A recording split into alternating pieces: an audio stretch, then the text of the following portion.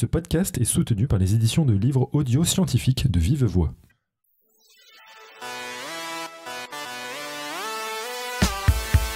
Géographie humaine versus géographie déterministe, qu'est-ce qui fait que certains pays sont pauvres, qu'est-ce qui fait que certains pays sont riches? Nous aurons aujourd'hui une réponse. Bienvenue sur Podcast Science.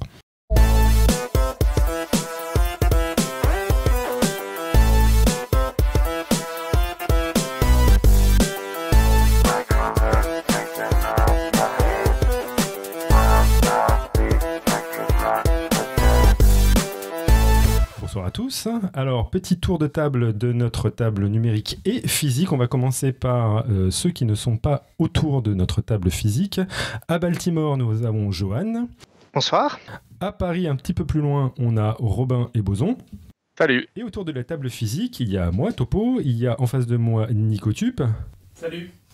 De loin donc, puisqu'il n'est pas muni de micro. On a à ma droite Lucille et à ma gauche Léo qui sont nos invités. Bonsoir à tous les deux. Salut Et on a un peu plus loin, mais très très loin d'un micro, mais accompagné de mon chat Gigi, Adrien pour les dessins que nous avions reçus aussi pour nous parler de CRISPR-Cas9.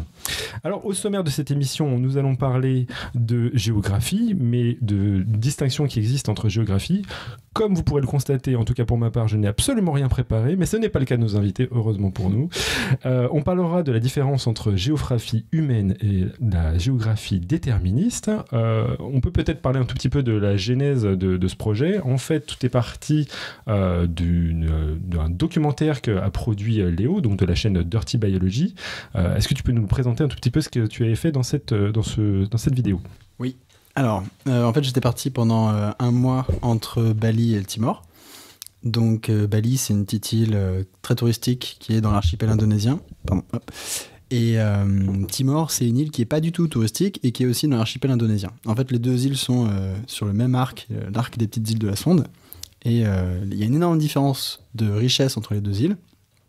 Et euh, du coup, je me suis posé la question pourquoi? Et comme j'allais sur place, en fait, euh, parce que je prenais des vacances dans la région, euh, Ok. je me suis posé la question pourquoi? Et du coup, j'ai essayé de répondre avec un docu, quoi. Donc toi, quand tu vas dans les vacances, tu fais des vidéos et puis après... Je, je rentabilise. C'est bien, c'est une bonne idée. Et du coup, euh, bah, qu'est-ce que, est-ce que tu peux nous parler peut-être de- des quelques conclusions que, ou, même de pistes de réflexion que tu as obtenues après avoir fait cette vidéo? Bah, c'est plus des pistes de réflexion parce que bon, j'ai pas fait un travail de recherche, donc il a pas de, j'ai pas fait de stats ni rien. C'est, euh, j'ai juste balancé finalement des idées et, euh, et essayé de proposer des, euh, des pistes quoi. Mais en gros, euh, ce à quoi je suis arrivé, c'est de dire qu'il y avait une grosse influence de l'environnement, en particulier de la géologie, sur la trajectoire, on va dire sociale de ces deux îles. Il y a une île qui a vraiment eu la chance d'avoir euh, des pentes douces, un sol très très fertile et euh, tout ce qu'il fallait en, humidité pour avoir une agriculture très productive. Donc ça c'est Bali. Tandis que l'autre, elle a eu la malchance entre guillemets d'avoir un relief très escarpé, des sols pas du tout productifs et euh, un cycle de pluie qui est pas du tout propice à l'agriculture, on va dire. Donc euh, en fait, il y avait eu une- une- déjà une énorme différence en fait euh, juste au niveau de la géologie qui, à mon avis, a vraiment influé sur, euh, sur toute la trajectoire historique de ces deux pays. Ok, d'accord. Voilà, en gros. Donc, en gros, la première piste, le truc qui se dégage, c'est que la géographie pourrait expliquer des destins euh, de richesse de, certaines civilisations, en tout cas à l'échelle du- d'une deux îles, euh, ça, semble se, confirmer. Et du coup, moi, quand j'ai entendu et que j'ai vu ce documentaire, euh, j'ai pensé tout de suite à Lucille, Lucille qui est à ma droite. Pourquoi j'ai pensé à toi? Bah, Tout simplement parce que tu es géographe et bah, justement, ma première question, c'est est-ce que tu as vu la vidéo de Léo Est-ce que tu as pensé que, comme moi, c'était de la merde Va te faire. Ah, pardon Non, Ah. c'est pas de la merde. non, c'est clair que non. Mais euh, en géographie, on intègre, c'est sûr, beaucoup plus les impacts euh, que, que les sociétés prennent, euh, les impacts des décisions que les sociétés prennent pour expliquer aussi l'évolution euh, de, de leur histoire et comment est-ce que les- ces sociétés-là évoluent. Même si ça a été dit euh, de- quand même dans la, dans la vidéo de Léo. Donc alors voilà, donc en gros, on va pouvoir avoir euh, ce soir l'œil d'une géographe justement sur cette, euh, problématique-là. Et bah, je, j'en profite pour te laisser la parole et pour que tu nous expliques un tout petit peu l'état des lieux, des connaissances qu'on a sur, sur la géographie et ce qu'on ce peut en déterminer justement grâce à ça. Ok. Alors, donc aujourd'hui, on va vous parler des, du travail des chercheurs qui étudient les sociétés humaines et leur évolution, comme on vient de le voir. moi, j'avais découpé l'émission en quatre parties, petites parties. Donc, on va d'abord parler, comme on vient de le faire, de la vidéo de Léo Grasset. Euh, et puis peut-être d'autres exemples qui utilisent la démarche comparative. On se demandera aussi qu'est-ce qu'on peut comparer, comment est-ce qu'on compare, euh, en l'occurrence en géographie, puisque c'est ça qui nous intéresse aujourd'hui. Ensuite, on parlera du déterminisme, qu'est-ce que ça veut dire, euh, qu'est-ce que c'est que cette notion, etc. Et puis, on parlera ensuite de l'utilisation des modèles, puisqu'on en a parlé quand on a préparé l'émission, l'utilisation des modèles et des mathématiques ou des statistiques pour prévoir l'évolution de nos sociétés, euh, et des problèmes liés à la prise en compte des, des échelles spatiales ou temporelles qui sont très difficilement intégrables dans les modèles. Et à la fin, à la toute fin, on parlera plus dans une discussion euh, de, des différentes voies d'évolution des systèmes euh, socio-écologiques, c'est-à-dire des systèmes euh, à la fois sociaux dans leur environnement naturel, donc comme on parlait tout à l'heure par exemple de la géologie. Ok, tout un programme. Tout un programme. On, va, on, va pas, on va pas chômer. Alors chez les géographes, il existe énormément de gens qui travaillent avec, cette, avec une approche comparative. Elle permet d'expliquer et d'observer ce qui se passe de commun et de spécifique entre les deux éléments comparés. Alors entre guillemets, sans tomber dans les excès des modèles qui considèrent des grands facteurs communs euh, qui sous-tendent l'évolution des sociétés. C'est-à-dire qu'on va chercher des grands facteurs euh, généraux, euh, assez peu nombreux finalement, qui vont expliquer comment les sociétés évoluent. et puis des monographies. Alors les monographies en géographie, c'est les thèses qui étaient faites dans les années 60 qui vont expliquer vraiment hyper en détail une région de France ou du monde. Ok, ça c'est spécifique à la géographie ou je sais pas si c'est spécifique, mais en tout cas. En ethnologie aussi. Euh, en quoi? En ethnologie. Ah ouais, d'accord. Les ethnographes. Ah, donc les ethnologies, ils font euh, genre un peuple et euh, géographie, ils font. Un, un, territoire. Un territoire, ah d'accord. Mais je, voilà, c'est pas forcément spécifique, mais en fait, c'est vraiment expliqué par le menu, grand 1, nanana, et enfin, voilà, c'est très. un exercice de style, quoi. C'est plutôt sens social, ouais. Voilà, c'est ça. Anthropologie, sociologie, géographie, ouais. Et ces monographies, elles ne permettent pas forcément la généralisation, donc pas du tout l'utilisation euh, de modèles. Mm-hmm. Donc on peut comparer de trois manières différentes. D'abord en comparant deux choses qui sont complètement différentes, donc en géographie des terrains complètement différents. Alors c'est ce qu'a fait euh, Anne-Laure Le Reboulet dans sa thèse, mais c'est qu'un exemple, hein, je dis il y a plein d'autres plein exemples. Elle a comparé deux régions viticoles. Donc là en géographie, euh, le, vin est tout hyper, hyper étudié. Donc elle a comparé deux régions viticoles, l'une en France, l'autre en Australie où les politiques de gestion sont très différentes, mais où le climat est à peu près similaire, il est méditerranéen. Ok. Donc on peut aussi... Attends, parce que c'est Calvin, parce que si c'est Beaujolais, de toute façon c'est biaisé. on est d'accord. Hein. On peut aussi comparer en fonction du temps, comme moi je l'ai fait dans mon travail, en comparant la situation d'un seul endroit, mais entre deux années différentes ou entre voilà, deux périodes différentes. Donc moi j'ai travaillé euh, sur l'évolution du Nil en Tunisie entre les années 60 et les années 2010. Et on appelle ça euh, une approche diachronique qui étudie l'évolution temporelle d'un système. Et enfin, en comparant une situation particulière avec un modèle euh, qui est déjà établi et qui permet de confirmer le modèle ou bien de le retravailler. Est-ce que tu veux ajouter? Eh ben, j'ai un exemple par exemple de ça. Euh, mais peut-être que c'est un peu trop tôt pour en parler. C'est un exemple, donc on, entre tout de suite avec Jared Diamond. Vas-y, vas-y. dont on va parler à mort aujourd'hui. Donc Jared Diamond, donc c'est un gars qui était euh, à la base ornithologue et puis qui s'est dévié sur euh, des thématiques un peu plus sciences sociales, mais toujours avec sa sensibilité de d'écologue, de biologiste. Et donc dans une étude qu'il a publiée dans Nature d'ailleurs avec un pote à lui qui s'appelle Barry Rollett, donc ils ont publié en 2004 une, une étude qui a comparé 69 îles en Polynésie. Donc euh, voilà, démarche comparative.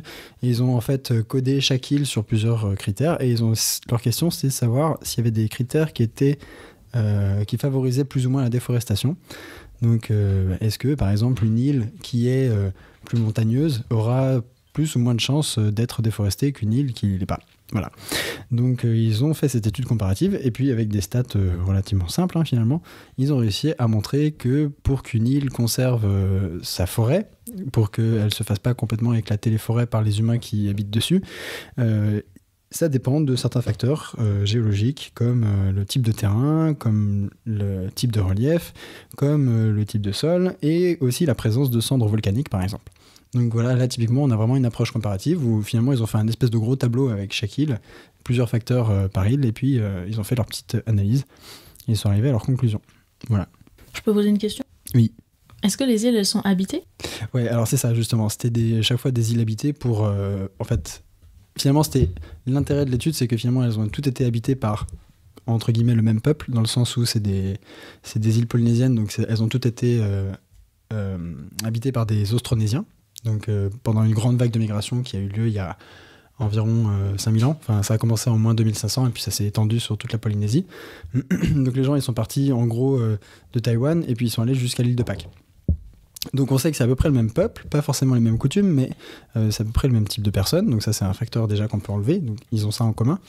Et euh, ce qu'ils ont codé entre, guillemets, c'est l'état de forêt au moment où les Européens sont arrivés. Donc comment étaient les îles quand les Européens sont arrivés sur l'île et en fonction de, des facteurs environnementaux. Moi j'ai tout suivi, je suis content. C'était bien Pas de question. T'as aimé Non, c'était pas. Donc voilà, donc ils ont publié ça dans Nature et enfin pour moi c'est vraiment l'archétype de la publi comparative puisque finalement ils ont 69 euh, îles donc ça fait quand même pas mal de points. Enfin pour 69, euh, 69 îles, en plus c'est des trucs isolés donc c'est pas c'est pas complètement contrôlé mais enfin ça permet déjà d'enlever plein de facteurs. Euh, qui sont un peu compliqués et à mettre dans une analyse. Et là, pour le coup, ils ont fait un truc assez propre, quoi. Donc voilà. Et juste une question, du, coup l'ornithologie ça mène à, n'importe quoi Ça mène à tout. c'est ça, tu, tu, en plus j'ai plein de potes tu dis des de... voilà c'est bon. Ah, il a fait de la physiologie aussi, c'est un mec euh, assez, assez puissant intellectuellement. Hein. D'accord.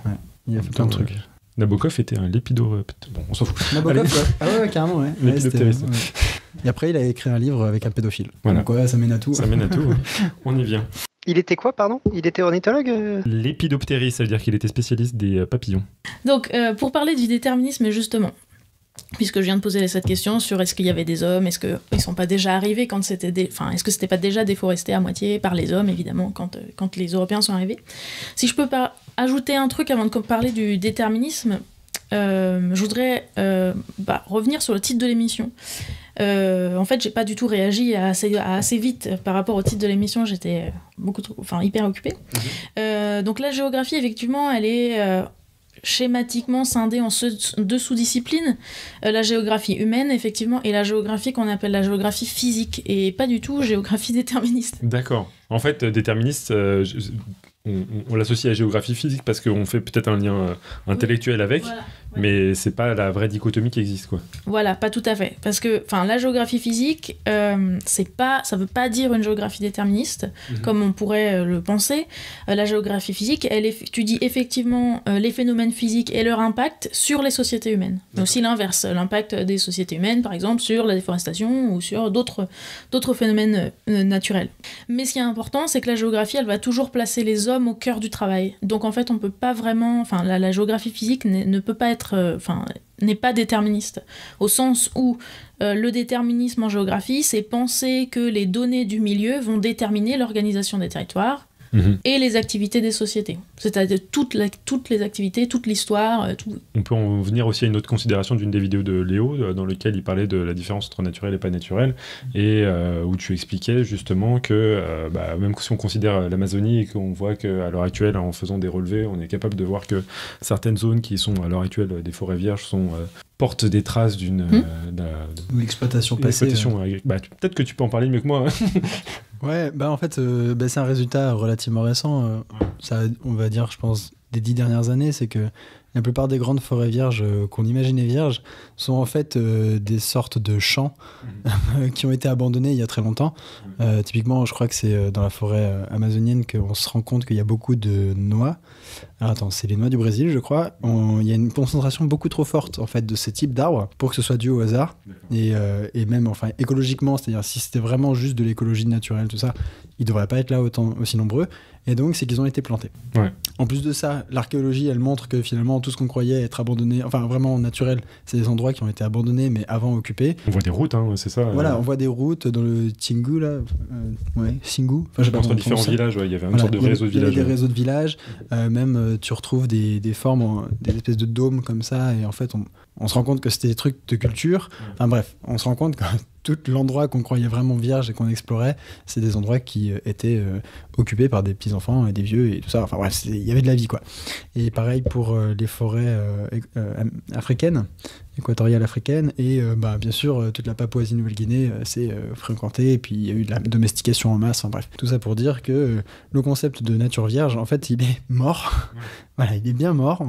Peut-être, je sais pas, les, fonds des, des fosses de mariage. Mais même pas, parce que finalement, euh, comme on, on pêche, etc., on, on balance et tout ce qui est la neige, tu sais, la, la fameuse neige qui tombe au fond des océans, bah, on, on l'influence aussi. Euh, On a foutu nos, isotopes euh, radioactifs un peu partout sur Terre. Euh, On a, enfin, il n'y a plus un endroit qu'on n'a pas touché, même si on n'y est pas allé physiquement, on, on a balancé nos trucs dedans, quoi. Donc, qu'est-ce qui est naturel et qu'est-ce qui n'est pas, euh, ça a plus de sens. Ok, donc à ma question, Ah, l'Antarctique que... encore, on n'y a pas trop touché, c'est Euh, Il y a eu des explorateurs qui en ont fait le tour partout. Je pense que tu peux retrouver des canettes de coca, euh, même sur le pôle sud, à mon avis. Ça c'est- circule c'est- en plus dans c'est les vision océans. un peu noire du monde, mais enfin vraiment, je pense que c'est fini quoi. La nature, ça n'existe plus. C'est c'est un, c'est un complexe quoi. C'est C'est nature c'est ça, culture. c'est un système. Ouais. C'est un système Ah, où il y a des interactions euh, euh, entre nous et on fait partie de, de- de la nature, quoi. Enfin, Mais sur les terres émergées, par contre. Plutôt Bah non, justement, quand mais- il parlait de cette fameuse neige, c'est-à-dire en gros des particules organiques qui euh, tombent de la surface des océans jusqu'au fond, euh, bah c'est c'est une trace humaine en fait. C'est triste. hein. Ouais. Et du coup, moi, j'allais poser la question c'est quoi la limite de, de- de la, de la géographie physique par rapport à l'empreinte humaine? En fait, il n'y en a pas, quoi, si j'en comprends bien. j'ai pas très bien compris. En gros, est-ce qu'il y a un aspect physique de la planète sur lequel l'homme n'a absolument aucun impact qui, et qui pourrait justifier qu'on fasse une géographie dans laquelle on ne considère pas l'humain? La géographie considère toujours l'humain. D'accord, bon, ok. Par exemple, euh, mais non, mais c'est. Par, Non, mais par de- comparaison, par exemple, enfin, par comparaison, par exemple, par comparaison avec la biologie qui peut ne pas considérer l'humain, ou l'écologie qui ne va pas considérer forcément l'humain dans les écosystèmes finalement. L'écosystème, euh, la définition, il n'y a pas d'humain. Hum, hum. Alors que, enfin, il peut, ça peut, on peut étudier les Bah, à écosystèmes l'heure sans. actuelle, on doit, en fait. De plus en plus, obligé, mais euh, Ouais. c'est vrai qu'il y a eu beaucoup de travaux en écologie qui n'ont jamais pris en compte le fait. C'est vrai. Voilà. Et, mais mais la, ouais. géographie prend forcément, ça fait, ça fait complètement, on intègre complètement euh, l'humain dans la géographie. D'où le, le- la notion de déterminisme qui est euh, particulière et qui ne correspond plus à, à grand chose, en tout cas en géographie. Eh ben, Donc cette coup, vision- Je te laisse nous expliquer ça. Ouais, cette vision de déterminisme, donc euh, comme, on vient de le dire, hein, que, les, que les milieux déterminent l'organisation des territoires et des sociétés, elle implique également euh, deux choses. La première chose, c'est que les facteurs sociaux, culturels, politiques, économiques, etc. des sociétés sont complètement minimisés. Et la seconde, c'est que les humains sont mis en situation, un- un- entre guillemets, passive face à ce qui leur arrive. Par exemple, euh, ils s'installent sur une montagne, bah, ils sont complètement passifs par rapport à tout ce qui va leur arriver en lien avec cette montagne, par exemple les avalanches, etc. Alors que non, pas forcément. Dans la réalité, euh, on a aménagé la montagne pour qu'elle puisse correspondre à ce que nous, on voulait bien euh, qu'elle nous permette, c'est-à-dire euh, skier et en même temps faire des chenaux de... On, a modifié les chenaux de... les chemins empruntés par les avalanches exprès pour pouvoir se pro- nous protéger. Enfin, Mhm. c'est- Ou les surfer. Oui, par exemple. Pardon. Ouais, non, euh, en fait, j'en profitais des questions de la chatroom, on les fera sans doute à la fin, mais là, on en a une qui va un peu plus loin dans l'histoire de la géographie, qui est limite technique. Alors, ça peut-être te permettre de nous dire un peu les limites de ce qu'est la géographie. Est-ce que étudier Mars, euh, c'est sans humain? Euh, Est-ce que c'est de la géographie? Alors, si tu veux, on peut ne pas dire Mars parce qu'il y a des sondes, mais genre Jupiter ou autre, est-ce que c'est de la géographie? Il y a des géographes qui étudient Mars. Donc, c'est de la géographie où Qui là, étudie- on ne considère, alors- pas, on considère pas l'humain. Voilà, la géographie, c'est aussi, à l'origine, quand même, euh, la- la- la- l'étude de la, des formes du relief. La géophysique. C'est-à-dire, Et ça, c'est pas de la géologie. géo- Ça, c'est pas de la géologie. La géologie, c'est plus l'étude des roches, comment elles se forment, comment elles sont, de quoi elles sont composées, etc.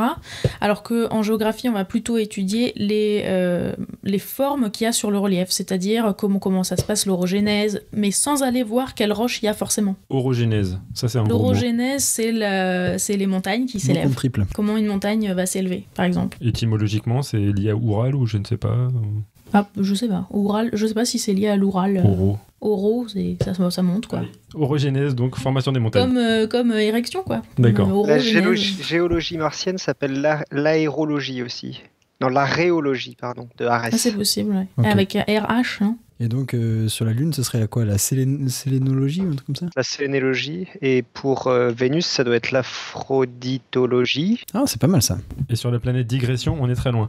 Donc, Euh, je reviens un peu avant. hein. Donc, euh, les facteurs sont les facteurs euh, liés à les- aux sociétés sont minimisés et la seconde donc c'est que les humains sont mis en situation passive face à ce qui leur arrive et ça induit une certaine fatalité ou en tout cas euh, une incapacité à se défaire des contraintes naturelles qui n'est plus vraie actuellement. Euh, en gros, c'était le cas avant jusqu'à la révolution industrielle. Avant ça, donc avant la révolution industrielle, les catastrophes sont considérées d'ordre divin. Et ça, ça change tout. Forcément, on imagine bien que face à, à aux dieux ou à, ou à des dieux ou à aux dieux, euh, on ne peut pas faire grand-chose. Donc il y a une fatalité qui domine, euh, même s'il existe des méthodes de protection, comme par exemple des brigades de pompiers dans certaines villes au Moyen Âge, par exemple, pour contrer les feux qui souvent sont complètement d'origine humaine par ailleurs dans les villes. Voilà. Donc le premier à avoir provoqué un débat autour d'une possible responsabilité des hommes dans les risques et dans les catastrophes, c'est Rousseau. En 1755, il y a eu un tremblement de terre à Lisbonne euh, à la Toussaint, donc euh, tout le monde était dans les églises, etc. Euh, Il y a eu ce tremblement de terre et il y a eu des milliers de... Enfin, je sais pas combien il y a eu de morts, mais énormément de morts. Et Voltaire a écrit euh, Dieu s'est vengé, ô ciel, ayez pitié de l'humaine misère. Et Rousseau lui a répondu La nature n'avait point rassemblé là vingt mille maisons de six à sept étages, et que si les habitants de cette grande ville eussent été dispersés plus également et plus légèrement logés, le dégât eût été beaucoup moindre et peut-être nul. on peut dire po, po, po. Voilà, exactement. Et il poursuit Si les habitants s'étaient dispersés ou logés autrement, on les eût vus le lendemain à 20 lieues de là, tout aussi gais que s'il n'était rien arrivé. Donc là, pour la première fois, en tout cas dans les hautes sphères et dans les, écrits, euh, la catastrophe n'est plus uniquement divine ou naturelle, mais comporte bien une dimension humaine. C'est l'organisation de la ville de Lisbonne euh, qui a euh, favorisé finalement la catastrophe. Ça, ça va bouleverser les débats scientifiques et religieux à l'époque, et ça cristallise l'idée selon laquelle les hommes peuvent comprendre les événements naturels qui les touchent, et peuvent donc agir pour en atténuer les effets. Donc finalement, la fatalité diminue, on est capable d'agir avant, pendant et après les crises, et du coup, l'acceptation du danger en même temps diminue. C'est-à-dire qu'on est, on est plus fataliste, on va donc moins accepter qu'il nous arrive euh, des choses euh, négatives, en- entre guillemets. Euh, du coup, on peut prendre des mesures de prévention, de protection et de euh, gestion des crises. Alors, pour, euh, pour continuer, je vais citer Monsieur Quenet, qui a écrit un article en 2010 et qui parle des tremblements de terre fréquents après 1755, donc après cet événement de Lisbonne. Cette menace nouvelle fait à son tour du mal physique un scandale. Pour la première fois depuis des siècles, le degré de risque accepté par les hommes a changé. La période moderne conduit bien d'une part à une prise en charge étatique des dangers et d'autre part à la naturalisation et à la laïcisation des catastrophes. Donc cette vision déterministe en géographie, euh, on est toujours en géographie, elle est obsolète puisqu'on sait euh, très bien aujourd'hui que les capacités des sociétés humaines à organiser, à créer, mais aussi à prévoir euh, leur servent à se prémunir contre les phénomènes naturels dommageables. Cependant, l'extrême inverse, donc c'est-à-dire le fait que les hommes se sont complètement détachés des contraintes physiques, n'est pas valable non plus, puisqu'on vit bel et bien dans un environnement qui est parfois imprévisible, et que les ressources en présence vont effectuer, effe- effectivement influencer le développement, la croissance, etc. euh, des sociétés, comme euh, Léo l'avait montré dans sa vidéo. Finalement, on peut retenir que les contraintes naturelles, elles existent, qu'elles ont une influence sur les sociétés, et que les sociétés ont une grande capacité d'adaptation, à la fois d'elles-mêmes, elles vont s'adapter à leur milieu, mais aussi du milieu dans lequel elles vivent, pour que le milieu le leur rende bien, entre guillemets. Ouais, je, pense que hum, bah, c'était aussi la conclusion finalement du docu, c'était de dire euh, que dans les deux cas, donc euh, pour rappel, c'était sur Bali et sur le Timor. En fait, euh, donc les deux îles, les populations qui vivaient sur les deux îles sont vraiment parties avec des environnements très différents, mais à chaque fois, ils ont vraiment essayé d'en tirer le meilleur parti. Par exemple, à Bali, euh, donc c'est une île où il pleut relativement régulièrement tout le long de l'année. Il y a quand même une période sèche, mais bon, c'est une période qui est beaucoup moins euh, hardcore que dans le reste de la région. Et euh, finalement, ces gens-là se sont quand même adaptés parce qu'il y avait énormément, il y a énormément d'eau qui circule en permanence sur les sols, et ils se sont adaptés pour, par exemple, faire euh, pousser le riz euh, les pieds dans l'eau. Donc ils ont fait un système de terrasse, ils ont fait un système de gestion de l'eau. Ils ont géré l'eau de façon communautaire avec un système de temple de l'eau. Enfin, c'est y a un- une complexité derrière sociale qui est hyper hyper bien foutue. Donc là aussi, enfin, ils n'ont pas juste été euh, complètement dépendants de leur environnement, ils l'ont entre guillemets géré, ils se sont adaptés à leur envir- environnement, ils ont créé des structures sociales pour le gérer au mieux. Et à Timor, c'est au Timor, c'est pareil, c'est-à-dire que euh, ils ont euh, des pentes de fou, ils n'ont pas vraiment, euh, ils ont pas de cendres volcaniques, leur sol il n'est pas fertile du tout, c'est des vieux sols, c'est tout lessivé, tout part à la mer, de toute façon, il n'y a même pas vraiment de sol, enfin bref. Et eux, pour réussir à survivre dans cet environnement-là, avec cette pente-là, ils font de la culture sur brûlis, c'est-à-dire qu'ils créent eux-mêmes, ils intègrent eux-mêmes le carbone dans le sol, ils fertilisent leur sol en brûlant des trucs au sol. C'est-à-dire ils coupent, par exemple, ils créent une clairière, ils coupent tout et ils brûlent. Ça fait un tapis euh, de cendres qui va ensuite fertiliser pour. euh, donc après, ils plantent directement les plan- les- leurs plantes dans, dans le sol, dans la cendre. Enfin bref, donc eux aussi se sont adaptés, ils ont créé des méthodes de culture qui sont spécifiques en fonction de leur environnement. La culture sur brûlis aurait peut-être pas aussi bien marché à Bali et la culture en terrasse, euh, euh, les pieds dans l'eau, aurait pas aussi bien marché au Timor. Donc il y a vraiment, je pense, cet aspect-là où chaque société humaine se, vraiment s'adapte en fonction euh, des conditions qu'on leur, des cartes qu'elle a, qu'elle a tirées quoi. Est-ce que l'un ou l'autre, vous connaissez un exemple de euh, technologie qui aurait permis de s'affranchir, mais véritablement, d'une condition naturelle, ou est-ce que c'est inenvisageable? Moi je dirais la pénicilline, mais tu Et encore, non, puisque tu, tu sélectionnes euh, justement des... Ouais, bon, d'accord, mais euh, pendant un petit moment, ça te laisse un petit peu de répit, quoi. Moi, je Non, pense pas. pensais vraiment s'affranchir dans quelque chose dans lequel on a... euh, Le pull, Quoi Le pull. la Le pull. En vrai, en vrai, tu peux vivre maintenant à, à Novobirisk, ou je sais pas quoi, les noms des villes russes, euh, à moins 50, euh, tu peux le faire. Le chauffage, c'est possible. Mais on Tu peut peux pas, vivre on, dans on ces peut, endroits. on peut pas se passer d'air. On peut pas se passer de, l'atm- de notre atmosphère. Et ça, c'est extrêmement compliqué à. Ouais, encore qu'il y a des, il y a eu des tentatives de villes sous-marines euh, avec, euh, tu vois, bon, c'est vrai que c'est- c'est pas hyper confortable. Tu, c'est un peu humide, mais Non, mais je pense que je, je- je- je pose la question et ça, peut- ça peut montrer d'une certaine manière l'optimisme ou le pessimisme qu'on a vis-à-vis de, de, de- la technologie, de la technologie, mais la gestion. je sais pas. Moi, je pense qu'on est très très fort en technologie, etc. Mais que quand même, on a besoin d'éléments euh, vitaux, genre l'air, euh, l'eau. euh, on je sais pas si on peut synthétiser euh, très facilement, à moindre coût, et de l'air et de l'eau. Si on en croit seul sur Mars. Non mais voilà, mais c'est en fait euh, même la bouffe, euh, je pense pour moi c'est le meilleur argument pour dire qu'on est encore dépendant de la qualité de notre environnement. C'est-à-dire que les récoltes, on est encore soumis à des qualités de récolte. On, on le voit plus parce que on achète tout dans les supermarchés, etc. Mais euh, quand il y a une période de sécheresse intense et que le prix du blé il explose machin, nous ça va, on le voit pas trop. Mais euh, dans certains pays, c'est l'émeute parce que euh, bah, du coup le prix du, du pain il a explosé. des émeutes de pain. Complètement. Et, euh, et en fait, euh, ça, c'est vraiment une question de l'environnement. Enfin, à la base, c'est l'environnement qui, euh, qui, est, qui, qui a un problème. Bon, après, c'est encore. C'est aggravé par le fait qu'il y ait une, une sorte de, euh, de surenchère euh, dans les bourses de. Comment on appelle ça? Les, les bourses du grain, là. Granny Bourse. Ah, non. tu m'aides beaucoup. Mais non, tu sais, ça, il y a de la spéculation en fait sur le prix des, euh, des matières premières. Le marché Ouais. de Rungis. Et euh, ouais, c'est ça, les marchés euh, au gros. Non, mais enfin, le fait qu'il y ait de la spéculation, ça vraiment, ça aggrave la- les circonstances. Donc, mais à la base, tu as quand même une donnée environnementale qui fait une situation qui est pas top. Et Ouais. on est encore dépendant de ça aujourd'hui. On peut avoir l'illusion qu'on s'affranchit, mais en fait, c'est parce qu'on on vit aux dépens de, de, Ouais. de sociétés qu'on arnaque. Quoi. Mais en fait, tu vois, enfin, pour moi, il y a un bon exemple, c'est euh, dans les années 70-80, plutôt 70, il y a plein de gens qui sont qui ont pleuré, enfin qui ont crié plutôt, en disant qu'on allait euh, devant une espèce de la bombe P, tu vois, la, bombe de la population.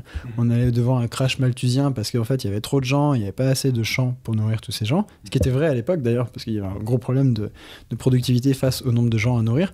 Et on a eu la chance d'avoir la révolution euh, verte, en fait, qui a augmenté énormément la, la productivité agricole. Donc on a été sauvé ce coup-ci. Mais le truc, c'est qu'en fait, ce problème revient, enfin va revenir en permanence. C'est-à-dire que on est quand même limité par la surface totale des, des- des surfaces agricoles, la productivité euh, à la surface, et qu'il y a un moment, c'est- on- donc on est en permanence en fait soumis à cet environnement.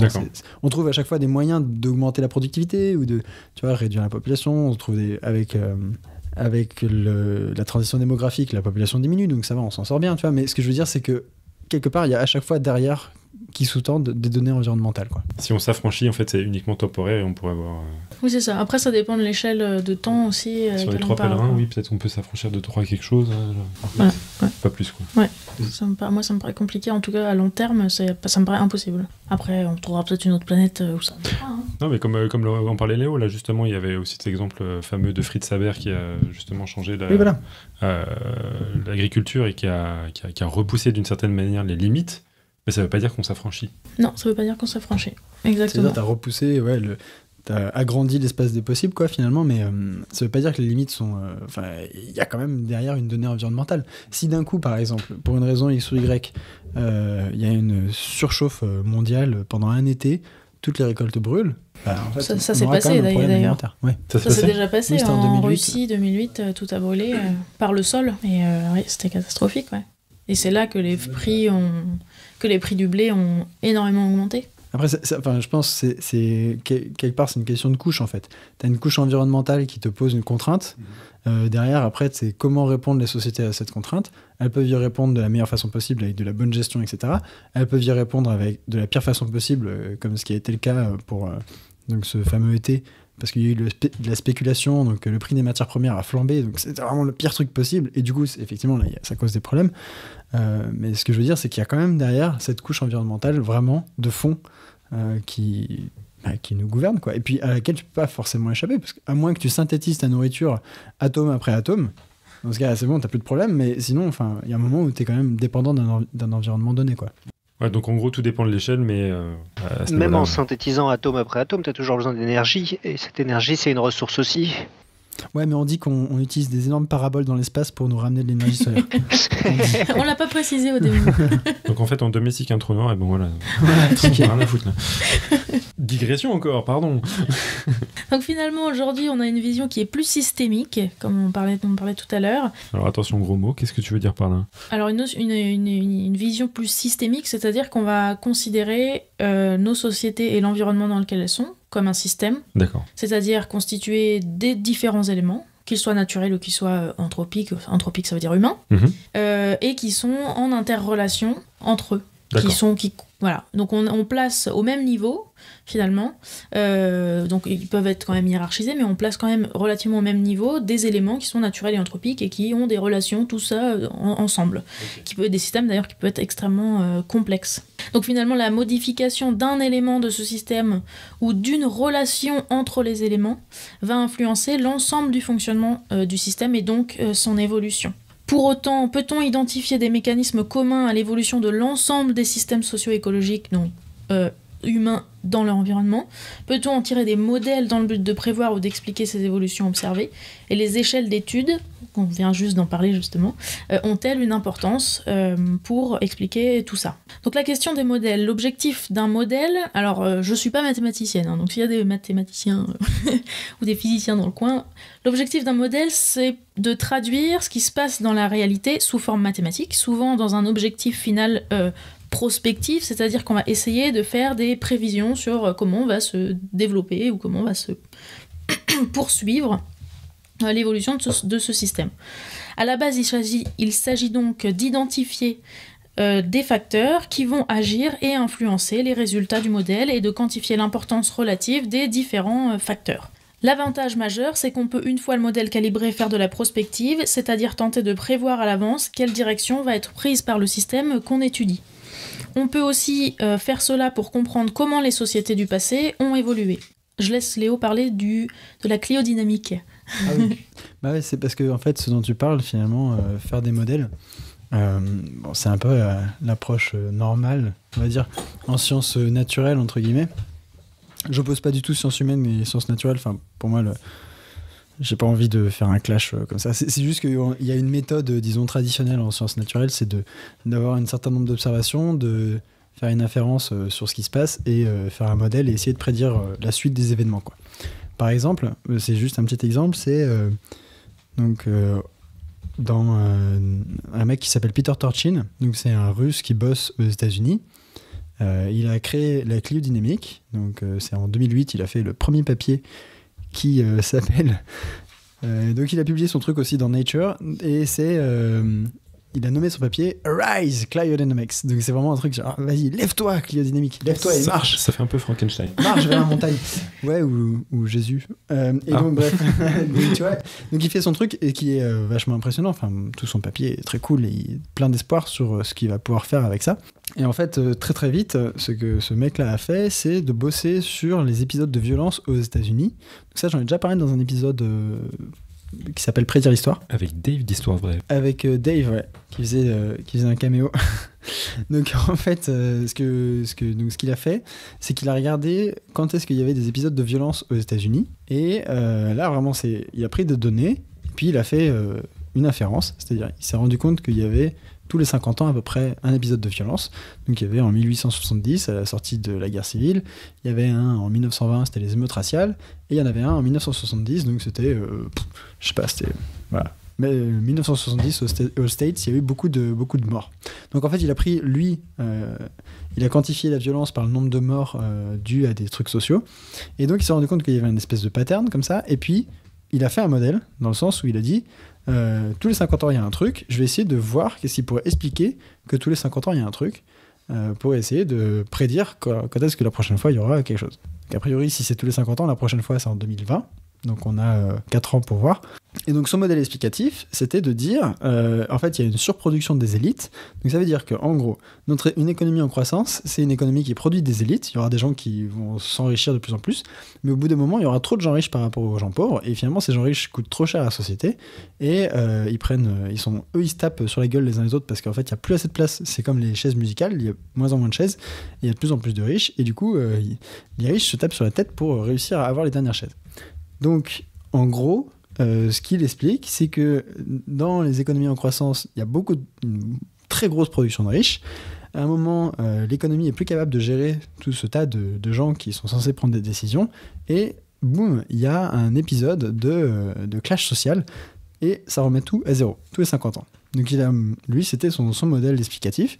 Et du coup, bah, maintenant, ce qu'il est en train de faire, donc là, j'ai pas les, pas les derniers papiers qu'il a fait là-dessus, mais ce qu'il est en train de faire, c'est de regarder si au moment où, euh, juste avant euh, que tu aies un épisode de clash social, est-ce que tu as un- une montée des élites? Est-ce que tu as une montée d'un certain type de classe, de revenus, etc. etc.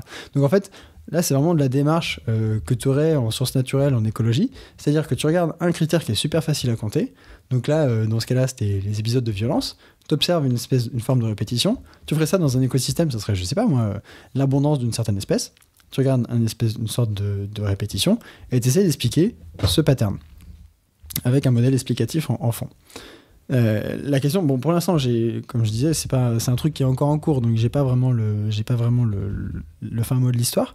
Mais si jamais il s'avère que son modèle est juste, euh, il peut le soumettre, enfin, il peut tenter une prédiction. Et si sa prédiction se révèle vraie, dans ce cas-là, c'est euh, un argument en plus pour dire que son modèle est vrai. Donc, enfin, moi, je trouve cet exemple assez sympa parce que finalement, c'est vraiment tenter de mathématiser en mettant des chiffres dans un modèle mathématique. Tu mathématises de l'histoire en fait. Et je trouve ça vraiment sympa. Et donc la cléodynamique, donc l'objet de la cléodynamique, c'est faire que ça. C'est prendre des, des indicateurs, donc je sais pas moi, euh, la densité de population ou euh, juste euh, la taille de la population, un niveau de violence, un niveau de richesse, ce genre de trucs qui sont facilement quantifiables, et tu vas essayer de les modéliser avec des modèles relativement simples. J'ai un autre exemple, si tu veux, je peux t'en parler. Ouais. C'est un truc assez rigolo, c'est sûr. donc il avait, il avait écrit un bouquin, euh, c'était au début des années 2000. Il avait écrit un bouquin sur euh, ouais, de l'histoire longue en fait, parce qu'il s'intéresse à des grandes périodes d'histoire. Il a essayé de, de regarder tout ce qui s'est passé pendant 1000 ans en Europe.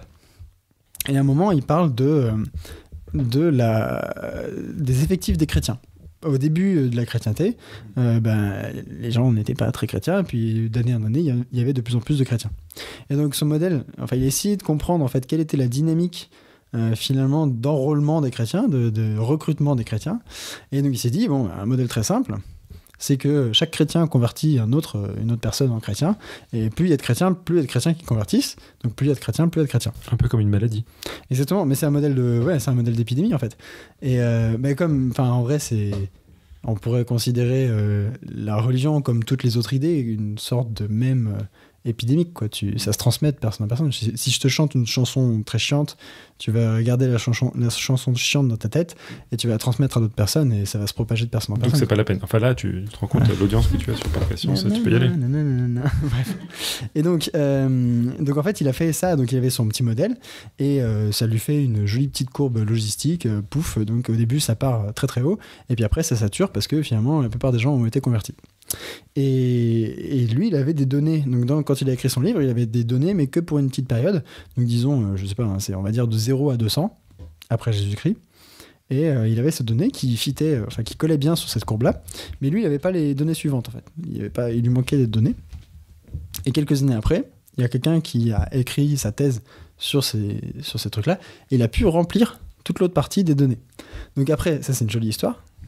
Euh, C'est-à-dire que pouf, euh, d'un coup, tu as plein de nouveaux points et comme par hasard, il colle au modèle qu'il avait écrit. Voilà, ça on peut en discuter. Après, c'est le truc, c'est que est-ce que son modèle, euh, il a pas, enfin moi j'ai pas vu de sa part des tests prouvant que c'était la bonne courbe, etc. Mais euh, il y a une démarche, si tu veux. Il y avait une démarche, mais en fait, euh, je me souviens, on, en avait parlé, euh, on, on regardait ce nuage de points, et c'est vrai qu'il y a, y a une.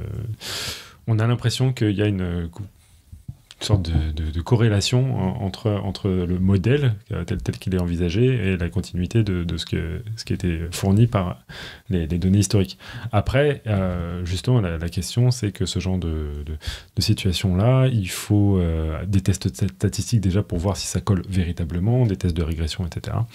Et, et ça, je ne sais pas si justement ces, euh, ces chercheurs-là sont armés euh, ou en tout cas euh, recrutent des gens qui euh, vont euh, se met- mettre en place justement tous les tests statistiques derrière. Et puis après, il y a toujours euh, la fameuse phrase qu'on qu'on va jamais ressortir assez, c'est que voilà, donc euh, les corrélations, c'est pas une relation de cause à effet. quoi. Oui, tout à fait. Non, alors pour euh, ce qui est Non, des... par contre, euh, bon, tu veux répéter ce que je dis, hein, parce qu'on n'entend pas, ça peut quand même donner de la, euh, la prédiction, c'est ce qu'il dit. C'est-à-dire que même si on n'a pas de causalité, on peut faire de la prédiction. Donc Nicotube dit quelque chose de très juste, c'est que même si on ne voit pas de relation de cause à effet, ça peut permettre d'avoir un élément prédictif et ça c'est quelque chose de très très important. Tu sais pas pourquoi, mais tu peux le prédire. quoi. C'est-à-dire tu, tu connais pas le mécanisme sous-jacent, mais comme ça colle sur la droite... euh, Et ça souvent, euh, c'est vrai que quelque chose euh, que, que les, les- la plupart des chercheurs euh, oublient, c'est que c'est pas parce qu'on n'a pas de modèle sous-jacent, c'est pas parce qu'on n'a pas d'explication sous-jacente que euh, un, euh, un modèle prédictif, ce, qui est, ce, que, ce que fait ce, ce chercheur-là, est pas utile. C'est c'est clairement comme ça que démarre la science généralement. Enfin, on commence par constater des liens et après on essaie de les expliquer, mais euh, Mm, mm. raconter une histoire c'est plus compliqué.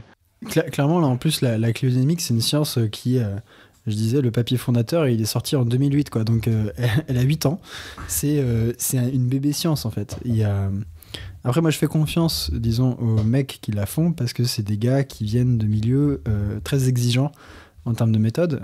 Peter Turchin, donc le gars qui a fait le, fameux papier, c'est à la base un mathématicien et écologue, mais plutôt du genre écologie des populations. Donc c'est des gens qui utilisent des modèles mathé- mathématiques assez bourrins. Euh, donc euh, finalement, enfin moi quand je le quand je vois les papiers qu'il produit où il essaye d'expliquer euh, voilà ces histoires d'abondance, de, de convertis ou de violence, ce genre de choses. En fait, je vois exactement les mêmes formules que dans mes cours d'écologie de master, quoi. C'est vraiment pareil. Mais euh, du coup, pour ça, j'ai relativement confiance dans le sens où je me dis, s'ils suivent la même démarche euh, que dans un domaine où, ça, où cette démarche fonctionne, bah là aussi, pourquoi pas. Faut juste Après- pas perdre de vue que peut-être pas quoi. Enfin, c'est-à-dire que euh, quand, quand on raconte une histoire, on prend toujours le risque de, de se planter. Quand on, quand on fait des corrélations statistiques, ok, Ouais, mais euh, c'est. Ouais, mais d'ailleurs, enfin, le, le côté euh, sympa, bon, enfin, c'est normal, ils sont scientifiques, donc ils connaissent les limites de leurs études, mais je pense qu'ils sont très conscients du fait qu'ils expliquent une partie euh, des données. Euh, mais comme c'est des sciences humaines aussi, enfin comme on, tu touches à des humains qui sont quand même des trucs un tout petit peu plus compliqués que des lapins et des lynx, euh, bah, du coup tu t'expliques qu'une partie de ce qui se passe quoi. Disons qu'on a une, euh, en tant qu'humain, on a une capacité de réflexion, de prise de décision, euh, Mm, mm. de voir à long terme, etc., qui est spécifique, qui est très particulière, et qui du coup, euh, évidemment, c'est hyper compliqué à prendre en compte dans des modèles comme ça de épidémiologiques, un peu comme le, comme le chrétien. Euh, c'est assez compliqué quoi, à prendre en compte. Mais après, si ça fonctionne, euh, si, si ça fonctionne et que le modèle en 2020, euh, il se passe quelque chose aux États-Unis, une phase de violence, ce sera intéressant. Mais c'est aussi intéressant s'il y en a pas. Oui, pour voir euh, bah, au Pourquoi- final pourquoi pourquoi, pourquoi il n'y en a pas eu. Après, c'est le. Enfin, pour moi, il y a un côté euh, intéressant, c'est le, euh, le fait que, comme ils mathématisent, finalement, ils peuvent faire des paris. C'est-à-dire, ils peuvent. euh, c'est ce qu'il a fait, Peter Turchin. C'était en 2010. Il avait quasiment. Il n'avait pas mis de l'argent sur la table, mais euh, il avait vraiment dit bon, ben voilà, je mets ma crédibilité en jeu. Si en 2020, il n'y a rien. euh, c'est que je suis un gros broc, c'est que je suis pas capable de, de faire quoi que ce soit. Et ça, moi, je trouve ça assez, assez couillu, en fait. C'est-à-dire de dire, bah, on va voir quoi. On va voir. Et le fait de faire des prédictions et de tester les prédictions, pour moi, c'est un peu euh, une sorte de qualité, de gage de qualité d'une science quand même. C'est-à-dire qu'une science qui fait que, que de l'explication a posteriori, bon, c'est sympa, mais euh, en vrai, euh, c'est, tu, tu, c'est- tu peux raconter plein d'histoires quoi. C'est comme, euh, bah, lui, il en parle très bien. C'est, il dit, bah, il y, a, il y a 200 explications pour la chute de Rome. Euh, ben, c'est en gros chacun crée la sienne quoi. Même si j'ai envie de raconter que c'est à cause du saturnisme parce que euh, la flotte des Romains que buvaient les Romains elle passait dans des tuyaux en plomb. euh, Ça, c'est vrai, ça. oui, mais c'est pas que ça. Tu, vois, tu, tu vois, tu pourrais raconter ce que tu veux. et et c'est ça le problème. Donc lui, il dit, bah, ay- ayons, disons, le, quelque part le courage de faire une science qui fait des prédictions et qui, bah, du coup, tu mets ta crédibilité en jeu quand tu te fais une prédiction. Et, euh, et qui teste des trucs vraiment pour de vrai. Quoi. Essayons de faire de l'expérimental avec. euh, essayons de faire de l'histoire une science naturelle, Hmm. en fait. Il faudrait parler de ça avec des historiens du coup. Eh ben alors, bon, mais j'avoue que sur la vidéo que j'ai fait, euh, il y avait pas mal de- d'étudiants en histoire qui étaient Bah ouais. relativement. euh, Mais alors que les étudiants. Et ça, j'ai trouvé relativement paradoxal. quoi C'est-à-dire que les, les étudiants étaient pas hyper chauds pour cette approche. Mais paradoxalement, il y a des chercheurs qui étaient plutôt OK. Alors, euh, donc modéliser, euh, ça implique forcément une certaine simplification de la réalité, euh, du terrain, mais aussi des dynamiques qui ont lieu au sein même du système. Et il est impossible de créer un modèle qui prenne en compte finalement tout ce qui se passe sur un espace. Je vais passer un peu plus vite pour, au niveau du temps.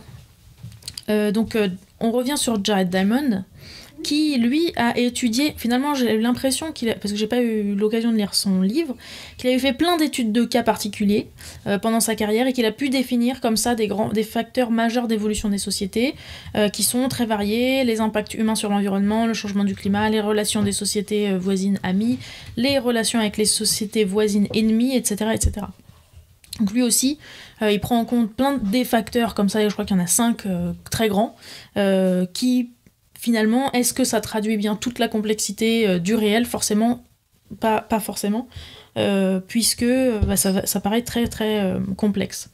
Donc ces travaux qui cherchent des grands facteurs majeurs d'évolution ne nient pas forcément les spécificités des, phéto- pardon, des phénomènes soudains ou d'échelle locale. À l'inverse, on peut aussi chercher à comprendre les phénomènes d'échelle très fine. On va donc chercher à expliquer l'évolution par des mécanismes plutôt locaux en prenant en compte les facteurs d'échelle plus vaste euh, que l'espace ou la société étudiée. En outre, les modèles sont dynamiques et euh, ne peuvent pas, euh, ne, sont- enfin, ne sont, sont dynamiques et ne peuvent pas encore bien prendre en compte les éléments imprévisibles, comme la réaction de chaque humain ou de chaque animal, ou encore des événements rares et imprévus qui s'éloignent de la moyenne. En économie, euh, Nassim Nicolas Taleb parle de signes noirs. Je sais pas si tu veux en parler un peu. Pas, enfin, oui, un petit peu, ça peut être intéressant. euh. Donc euh, ce sont des événements euh, qui ne font pas partie de la structure profonde ou des tendances lourdes et qui sont imprévisibles mais qui vont avoir une grosse influence sur le futur. Euh, ces événements que les modèles ne permettent pas de prédire sont par exemple un tsunami, un tremblement de terre, une canicule, mais aussi euh, d'un point de vue plus humain un attentat ou un accident nucléaire par exemple, en en tout cas en géographie. Ils vont perturber le système, c'est-à-dire le fonctionnement normal euh, de la société. Une autre limite des modèles, c'est qu'il est très compliqué de modéliser les interactions de différents facteurs du système qui jouent à des échelles spatiales et temporelles très différentes. Euh, pour ça, j'ai un e- l'exemple de Katrina qui a frappé les États-Unis le 29 août 2005. Il est assez parlant pour montrer d'abord que les implications de certains événements ou de certaines décisions ponctuelles sont très complexes à prévoir et que ce qui se passe à une échelle locale peut avoir des conséquences à des échelles beaucoup plus vastes. Mais, euh, cet exemple-là permet aussi de montrer qu'on ne peut pas s'arrêter à des causes naturelles pour expliquer des catastrophes. Donc les États-Unis euh, doivent régulièrement faire face à des ouragans. Du coup, pourquoi est-ce que Katrina a été si meurtrier en faisant plus de 1300 morts euh, en 2005 En fait, ce n'est pas parce que l'ouragan était particulièrement extrême. On en avait déjà vu des comme ça, c'était pas un ouragan euh, extrêmement violent. Mais on s'est retrouvé dans une situation quand même problématique, avec des vents très violents, une très grosse dépression et une très haute marée à la Nouvelle-Orléans quand l'ouragan a frappé. Euh, la catastrophe tient beaucoup plus aux facteurs humains et en particulier aux politiques de gestion des risques dits naturels aux États-Unis qui ont fait suite en fait aux attentats euh, du 11 septembre 2001. Donc là on est en 2005, c'est vraiment pas longtemps après. Donc à cette époque, euh, George W. Bush est président et mise sur sa politique de lutte contre le terrorisme, de la destruction d'Al-Qaïda en Irak, etc. après le 11 septembre. Donc finalement, toute la politique américaine, elle est tournée vers l'extérieur du pays et vers le terrorisme, dans la lutte contre le terrorisme, et finalement pas du tout euh, sur l'intérieur du pays, sur ce qui se passe dans le pays, y compris sur les catastrophes naturelles. On néglige complètement d'ailleurs ces risques naturels. La mise en place de la politique extérieure du gouvernement de l'époque a engendré la redistribution des budgets alloués à la construction des digues et des protections de la Nouvelle-Orléans, entre autres, hein, ils ont aussi provoqué beaucoup d'autres choses. Euh, donc les travaux sur les digues étaient arrêtés à la Nouvelle-Orléans depuis plusieurs années et on a complet les portions qui n'étaient pas terminées, au moins chères, mais aussi au moins solides. Ceci explique pourquoi, euh, alors que les côtes avaient déjà subi des, ouragans, c'est-à-dire qu'on connaissait déjà les effets des ouragans à cette époque, ils n'ont pas été anticipés car le gouvernement finalement regardait ailleurs, donc forcément grosse influence. Les conséquences des attentats du 11 septembre 2001 ont également conduit à de grands remaniements dans les organisations de protection de la population face aux menaces. Comme je l'ai dit, les risques naturels sont relayés au second plan, euh, loin derrière les risques terroristes. De nouvelles agences ont été créées, donc des agences gouvernementales. hein. De nouvelles directives ont vu le jour, les remaniements, des créations d'agences, la multiplication des couches administratives et les nouvelles lois euh, qui sont donc toutes jeunes en 2005. Elles ne sont et tout ça, tout ce système très complexe et très nouveau euh, n'est pas connu euh, par les gens. Donc même au plus haut niveau, on ne connaît pas bien le système de déclenchement des opérations de sauvetage, de, déploiement des, des moyens, de l'armée, etc. Et ça, ça va renforcer énormément la vulnérabilité. Je descends encore en échelle. La gestion pré-crise, la région pré-crise euh, revient aux maires des différentes communes lors de catastrophes aux États-Unis. Le 26 août 2005, les services météo alertent quant à l'arrivée de Katrina et la très grande majorité des maires euh, organisent l'évacuation de leur commune. Et ils sont soutenus dans cette démarche par les États. euh, qui se chargent, eux, des flux routiers. Ça fonctionne plutôt bien. Les gens ont plusieurs jours pour préparer leur départ. Le système fonctionne. 1,2 million de personnes sont évacuées. Sauf à la Nouvelle-Orléans, où le maire a décidé de ne pas euh, prendre en charge ça, donc de se retirer euh, à peu près complètement. Il ne prend pas la mesure de la catastrophe et ne demande pas à ses administrés de quitter la ville avant, euh, juste 24 heures avant le, début de l'arrivée de l'ouragan. En plus de ça, donc vous allez voir, c'est une succession d'échecs, hein, de, de- problèmes qui sont rajoutés. En plus de ça, il n'organisera pas le départ des plus démunis, euh, qui, euh, ces personnes-là, n'ayant pas de voiture ou pas de moyen de payer leur voyage, se retrouvent bloquées. Il ne déclenchera pas non plus de procédure pour évacuer les hôpitaux, les hôtels et les maisons de retraite. Euh, cependant, la seule chose qu'il fera, c'est qu'il proposera un abri qui est le Superdome, dont on a beaucoup entendu parler pendant cette catastrophe. Donc c'était une bonne chose, mais les quantités de nourriture et d'eau ont été très largement sous-estimées pour aider les gens. C'est-à-dire que les populations les plus vulnérables, donc euh, les gens pauvres, mais aussi les personnes euh, âgées, euh, dépendantes, n'ont pas été aidées ni préparées à faire face à la catastrophe. Donc une fois qu'on part d'une situation pareille, en sachant qu'il va y avoir un ouragan, forcément, on sent bien venir la catastrophe.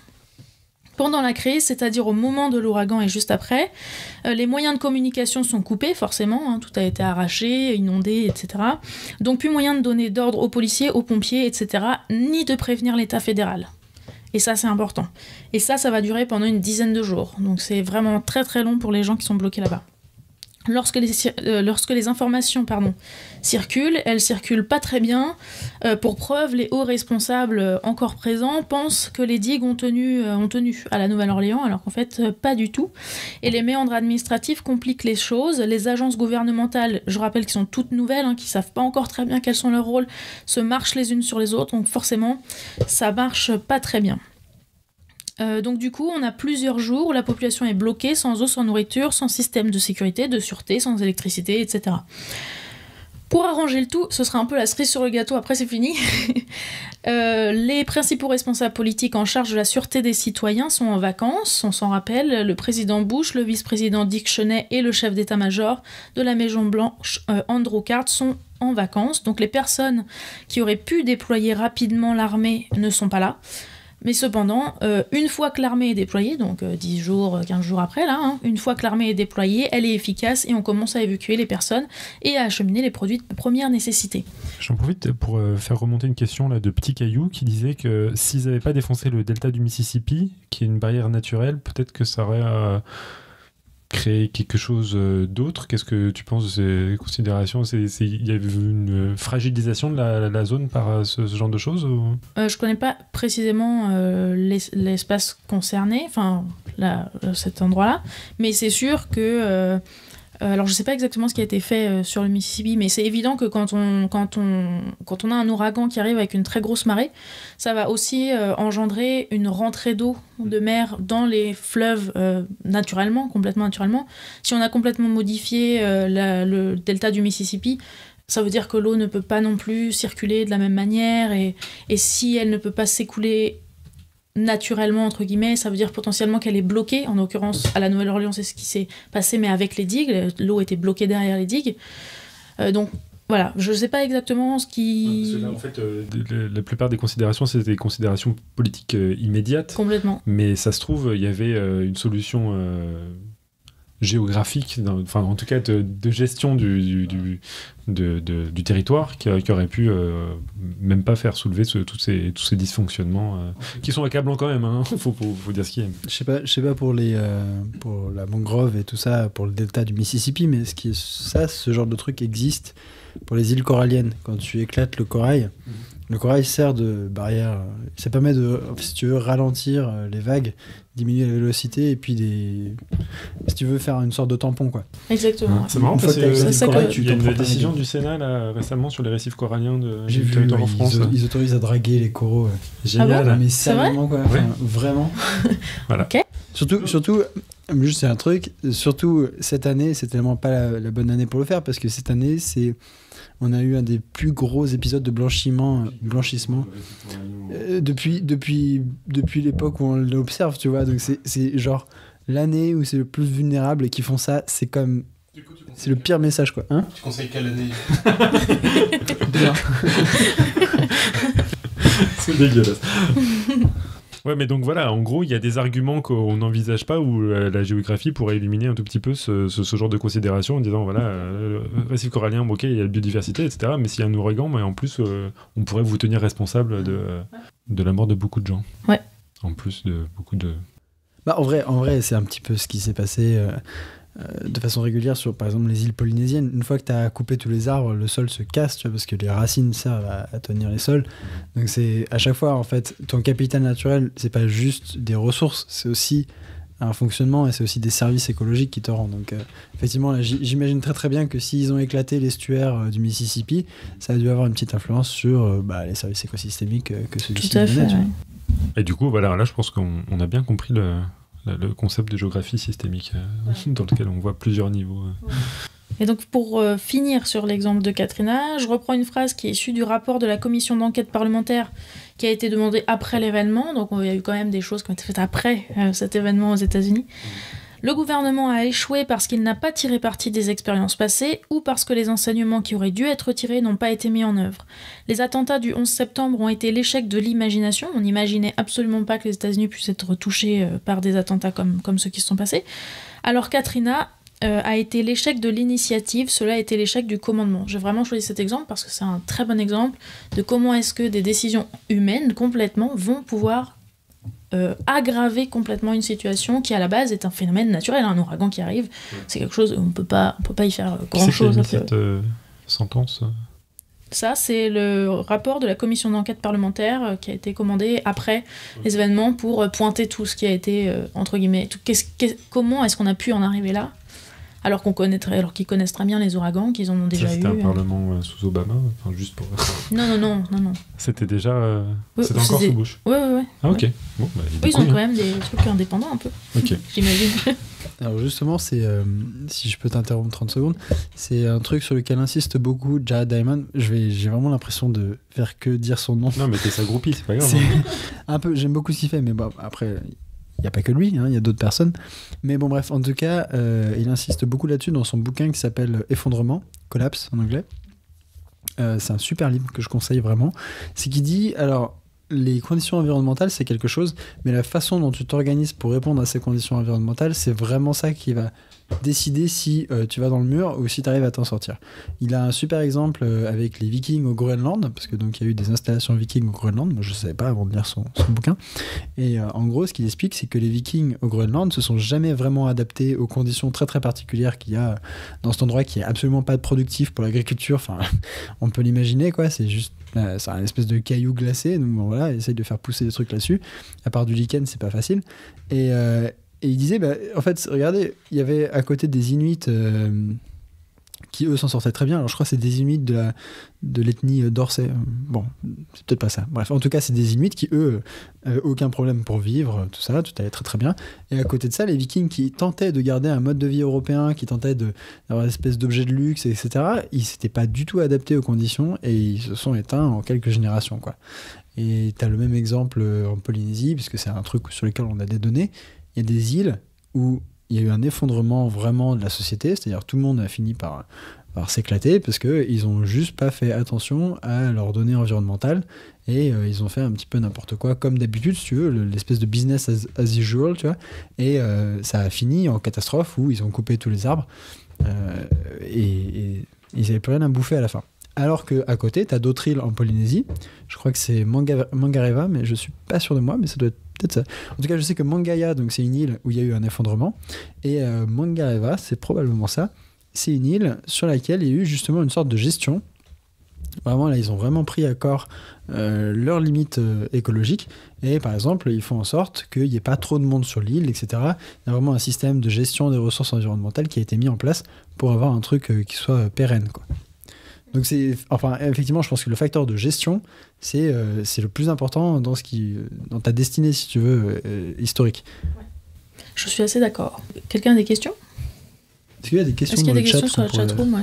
On a, des, on, a des, on a des réactions euh, à ce qui était dit sur l'écart des, des riches et des pauvres qui augmente depuis quelques années. euh, du coup, Ah oui. là, ça- Ah, ça- tout péter. Hashtag nuit debout. C'est ça, hashtag nuit debout.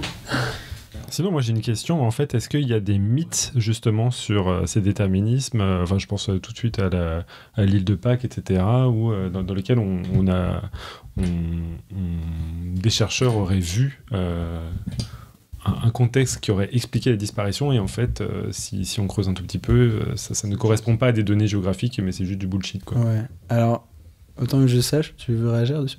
Euh, J'ai pas très bien compris le. En gros, tu vois, par exemple, l'île de Pâques, il y a ce mythe. euh, euh, enfin, je sais pas si c'est un mythe, à vrai dire. J'ai- entendu les deux avis, euh, dans lequel, euh, en gros, la déforestation locale aurait expliqué la disparition de la population sur, sur, sur place. Et que, en fait, euh, c'est pas vrai. Ou euh, la, la disparition des civilisations aztèques qui aurait été expliquée par. euh, Par- le- le- le- un des épisodes de sécheresse intense. Voilà, c'est ça. Alors, en, en gros, euh, je pense que. Bon, j'ai tendance à penser que c'est un petit peu un argument homme de paille. En fait, c'est. euh, c'est aussi peut-être ça part du fait que les gens simplifient euh, ce que disent les, cher- les chercheurs. Euh, Jared Diamond, autant que je sache, n'a jamais dit que l'environnement était le seul truc. Il a juste dit que c'était un facteur. Le, le problème, à mon avis, des gens, c'est qu'ils sursimplifient, si tu veux, et ils font comme s'il y avait un seul facteur qui faisait tout. Alors que je pense dans la géographie déterministe, entre guillemets, euh, c'est pas un déterminisme fort, si tu veux. T'as plein de déterminismes différents. T'as, disons, euh, l'état final de ta société va dépendre à 20% de l'environnement, à 35% des décisions machin, à 15% d'un personnage historique quelconque. Tu vois ce que je veux dire? C'est un ensemble de facteurs qui vont se regrouper en une sorte de réseau de, de- de cause à effet. Et il faut juste être capable de, de savoir que c'est juste des pourcentages. Quoi. On peut faire le parallèle avec euh, la génétique, euh, dans lequel on va te dire voilà, on a trouvé le gène de, le gène de l'obésité. t'es là, non. Ah, mais là, exactement, je pense que tu as, une part génétique, une part environnementale, une part de plein de trucs. Épigénétique, même si tu veux. Et toi, tu as des, des exemples justement euh, dans, dans, dans tes recherches ou qui ont été maltraités euh, comme ça par euh, ou, ou de, de- de sujets de recherche que, que tu aurais vus qui sont régulièrement euh, mal interprété Bah, quand on parlait tout à l'heure de la chute de l'Empire romain et qu'il y a 36 000 euh, théories qui expliquent euh, le- la chute de l'Empire romain, je pense que euh, il faut arrêter de penser que les, que les, les causes sont uniques, mais euh, sont toujours multiples. Et qu'il y a une. Des, voilà, je, répète encore mon- ma petite histoire, mais qu'il y a différents éléments et que quand ces éléments changent ou que quand une relation entre, entre deux éléments change, alors ça va engendrer des choses qui vont avoir des répercussions, qui eux-mêmes vont avoir des répercussions, et donc on peut pas avoir de cause unique. Euh, donc quand on a 36 000 euh, explications pour la chute de l'Empire romain, peut-être que finalement c'est une combinaison de toutes ces théories. Alors peut-être qu'il y en a qui sont fausses, mais en même temps on peut pas aller vérifier sur l'Empire romain quoi. Mais ça peut être non, mais ça peut être pas mal déjà de justement débroussailler. J'ai j'ai l'impression que ce qui, ce qui pourrait être fait euh, d'ores et déjà, c'est élaguer. Oui, Au voilà. contraire, tout ce qui est Je faux, pense- quoi. C'est l'énorme intérêt enfin, de la- peut-être la cléodynamique et tout ça, c'est justement essayer de faire la part de ce qui est vraiment qui a un, un impact minime, qui a eu un impact minime dans l'histoire, et regarder les causes qui, elles, ont eu un impact prédominant. Quoi. Par exemple, les invasions de koalas sur euh, l'île de Pâques, c'est peut-être pas ça qui a joué Non. euh, sur la Mais alors, tu disparition. vois, pour, pour le coup, l'île de Pâques, c'est probablement, euh, de ce que j'avais vu, donc il y a eu d'une part des esclavagistes qui étaient venus du Chili, je crois, Oui, ouais. Donc qui, euh, bon, quand tu te fais éclater ta population et que tous les, jeunes euh, partent, euh, donc euh, t'as plus personne pour bosser, donc c'est pas top. Et en plus de ça, je crois que ces esclavagistes-là, ils ont ramené, ou les premiers colons, enfin les premiers voyageurs, ils ont ramené des rats. Ce qui, les rats ont eu pour effet de bouffer toutes les graines des arbres. Donc euh, les arbres avaient du mal à se reproduire après coup. Euh, en plus de ça, ils ont coupé tous les arbres pour faire euh, les fameux moai là. Donc en fait, c'est une concordance de facteurs. En gros, euh, bah, ils étaient un petit peu. C'était foutu quoi. Une fois que t'as plus, t'as plus aucune chance, euh, voilà, c'est fini.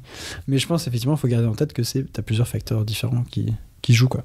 Il y a, il y a Didier Mazal dans la, dans la chatroom qui évoque les dinosaures, euh, la, la cause de l'extinction des Et dinosaures. oui, et oui, oui, récemment il y a eu ça aussi. Finalement, on peut trouver plusieurs explications. Après, savoir si on sera complètement. euh, Voilà, c'est ça. Si un jour on aura une explication complètement euh, rationnelle et certaine, c'est pas, pas gagné. C'est une autre histoire quoi. Ouais, ouais, je suis je suis d'accord, c'est super complexe. Et en plus, on superpose aussi certains fantasmes vis-à-vis de, de ces populations, de, de, de ces événements-là, notamment euh, l'idée que par exemple tous les dinosaures ont disparu. Bah, maintenant, on en revient, puisqu'on a, on a compris que les oiseaux c'était des dinosaures. Et euh, on, on se rend pas compte aussi que c'était euh, tout, euh, tout un réseau d'écosystèmes en fait qui a disparu. Il y a des populations euh, aquatiques qui ont disparu pendant cette période-là et généralement on n'en parle pas. Et pourtant, bizarrement, ça a pu avoir un impact juste immense, même euh, euh, quelques décennies après euh, une astéro- un astéroïde, etc. Et c'est peut-être ça qui a entraîné, on s'en rend pas compte quoi. En fait, peut-être de poisson, pas de bouffe. assez paradoxalement, c'est peut-être la vulgarisation qui est un peu l'ennemi de la science, dans le sens où le but de la vulgarisation, c'est de raconter des histoires quand même, après tout. Et donc, tu es obligé de, simplifier un peu les choses. Et finalement, en simplifiant les choses, tu racontes, euh, tu racontes des erreurs, quoi. Parce que, typiquement, enfin, moi, je vois souvent euh, sur les sites écolos, un peu, qui traitent de Jared Diamond. Donc, euh, Jared Diamond est très très lu par les gens qui sont écolos, évidemment, parce que ça va dans leur sens. Et ils ont tendance à sursimplifier un petit peu ce que lui raconte dans le sens où ils disent bah regardez si on continue à massacrer la planète bah, on va tous mourir parce qu'on n'aura plus euh, de quoi manger. Alors c'est ce qui est pas faux hein, c'est sûr que si on si on stérilise tous les écosystèmes de la planète on on- on n'aura plus rien à manger. Mais il y a aussi un autre aspect enfin en faisant ça ils sursimplifient quoi. Ils font comme s'il y avait un seul facteur alors que bah il y en a plein d'autres. Complètement. Oui, c'est plus que, plus que la vulgarisation, c'est son mauvais usage parce que ah, on peut faire de la vulgarisation comme tu l'as fait dans ta vidéo en disant euh, on n'explique pas tout et on. oui Mais arrêtez de lui faire des compliments. Dans la chatroom qui, qui, qui faisait la remarque du coup que tu étais l'ennemi de la science, donc euh, je- j'essayais de te défendre. Ah oui, non, non, mais je pense, enfin, là je parlais de, j'avais en tête la mauvaise vulgarisation, si tu veux. La vulgarisation à la, euh, oups, j'ai failli lâcher un nom. non, mais tu sais, les, les sites, les sites militants où tu vois des mecs qui sursimplifient tout. euh, Je vais en parler dans une prochaine vidéo justement de ces trucs-là où les mecs en fait ils te fabriquent des petites histoires, euh, ils prennent un résultat scientifique et ils le violent complètement en récupérant juste ce qui les intéresse et ah, ça m'énerve. C'est pas que la vulgarisation, hein. dès, dès le niveau de la science, tu peux avoir ce genre de dérive assez rapidement dès que, dès que tu mets euh, trop de. de... Bah, je pense que. Ouais, Hashtag Serralini, c'est ça que tu voulais dire? Ouais par, ex- je- par exemple. Non, mais je, je, non, je utilise pas au truc euh, carrément délirant des, des, des Russes, là, de. euh, on avait fait un épisode sur lui, là, où là, ça, ça va très très loin, mais. Lysenko Voilà, c'est ça. Lysenko, c'est vraiment le pire de ce qui s'est fait dans la science. on a quand même plein d'exemples de, de, de gens comme ça euh, qui, euh, qui prennent un petit peu ce qui les arrange. Je sais plus aussi, j'avais entendu parler d'une d'une théorie russe et d'une théorie américaine sur la formation des, des satellites naturels, euh, où il y en a un qui dit que c'est un gros qui bouffe tous les autres et l'autre qui dit que c'est plein de petits qui grossissent petit. Enfin, c'est- assez évident que même, même quand tu fais de la science, tu es influencé par, par beaucoup de choses qui Par sont pas scientifiques. ouais. Bah, pour le coup, oui. Enfin, tu parlais Surtout sur des sujets qui sont aussi complexes et aussi euh, humains, quoi. Mm, mm. Et donc, euh, on en arrive à la fin, j'imagine Pas du tout. On en arrive au milieu. Non, non, on va, aboutir- on va arriver au dernier point. Ah, d'accord, voilà. C'est ce que Donc ici, on a parlé euh, finalement de crise, de catastrophe, d'événements particuliers, des signes noirs de Nassim, euh, Nassim Nicolas Taleb, qui sont finalement des changements qui sont très brutaux et qui vont avoir des conséquences euh, locales, globales, directes ou indirectes euh, sur euh, les systèmes. Or, le changement, il peut également se produire lentement par des processus qui s'inscrivent dans une tendance. C'est le cas avec l'évolution actuelle du climat et en particulier l'élévation du niveau de la mer ou des températures. Euh, je Je rappelle. il faut que je l'interrompe. En, en gros, tu dis le changement, c'est lentement, c'est ça? Le changement, c'est Wow. lentement. Pardon. Il n'y a pas de problème. 2017 fait campagne. Voilà, c'est ça. Donc c'est le cas avec l'évolution actuelle du climat et en particulier l'élévation du niveau de la mer ou des températures. Euh, je rappelle brièvement que la relation entre événements climatiques brutaux et changements climatiques est très complexe à établir. Donc c'est pas parce qu'il y a euh, plein de tempêtes pendant un hiver que forcément c'est la, faute euh, du changement climatique. Donc ces changements, les changements qui sont relativement lents, ils vont modifier finalement petit à petit les conditions ici de l'environnement et comme les événements brutaux provoquer l'évolution des systèmes. Alors pourquoi parler ici des différents modes d'évolution des systèmes, enfin des sociétés euh, dans leur environnement? D'abord parce qu'on entend souvent parler, on en entend souvent parler, mais seulement d'une seule manière. Euh, le changement climatique va nous mener à la fin du monde, on va tous mourir, etc., etc. Euh, c'est comme si dans cette vision complètement catastrophiste, évidemment, tout changement était mauvais et allait forcément causer notre perte à nous, tous les humains, alors qu'en fait, pas forcément du tout. Il peut se passer des choses très bien quand on change et qu'on évolue. Donc je vais prendre ici la théorie exposée par le professeur Jean-Louis Lemoigne qui utilise deux notions pour décrire l'évolution des systèmes. Donc là aussi, c'est euh, assez euh, mo- modélisant. La première notion, c'est l'environnement du système. Donc un système, euh, il est on, on considère l'intérieur entre guillemets du système et aussi son environnement, c'est-à-dire tout ce qui est à l'extérieur de ce système mais qui va quand même l'influencer. Si on étudie un agrosystème, les vignes ou les champs, les agriculteurs, les routes, etc. feront partie du système alors que le climat ou les politiques européennes agricoles, par exemple, feront partie de son environnement.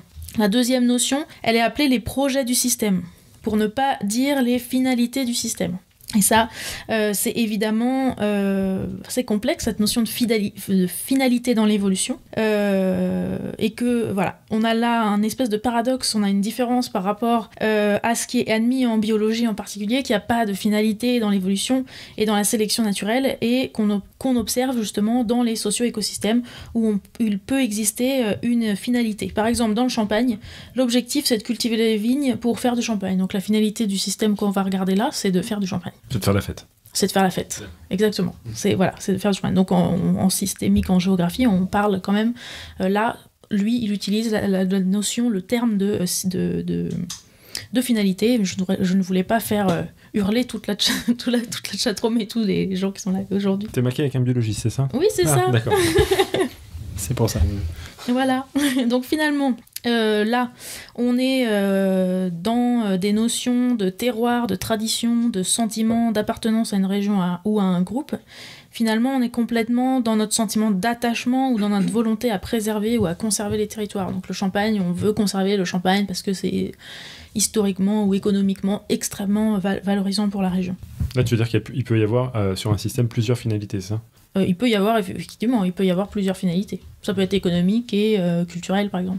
Et d'ailleurs, qui peuvent être dépendantes de ce que tu dis, de l'environnement de ce système. Parce que moi, typiquement, quand tu me parles de, de, de, de finalité, euh, notamment euh, vis-à-vis de, certains agriculteurs, et qu'à un moment, un environnement, euh, bah, je sais pas, les, les lois euh, à échelle européenne pour euh, mettre en jachère, bah, la finalité, elle a, elle a changé. Quoi. Et donc, le- Complètement, l'agriculteur ne produit plus. Mais... complètement. D'accord. D'ailleurs, je vais en parler. Donc, si l'environnement change, donc Pierre vient de nous faire une petite démonstration, il a tout compris.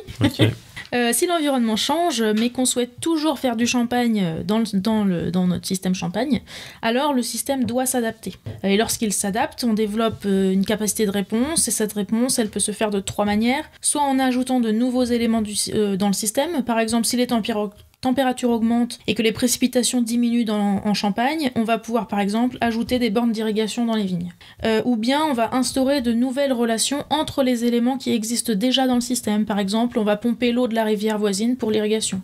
Ou bien encore, on va innover. Par exemple, on pourra introduire des nouveaux cépages qui sont mieux adaptés. Donc les cépages, c'est les pieds de vigne particuliers, c'est des espèces de races de vignes, je sais La variété, ouais. voilà, une variété, ouais, exactement, euh, qui est mieux adaptée. Cette situation, elle est extrêmement fréquente et euh, elle renvoie à notre préférence pour les choses qui ne changent pas ou qui ne bougent pas.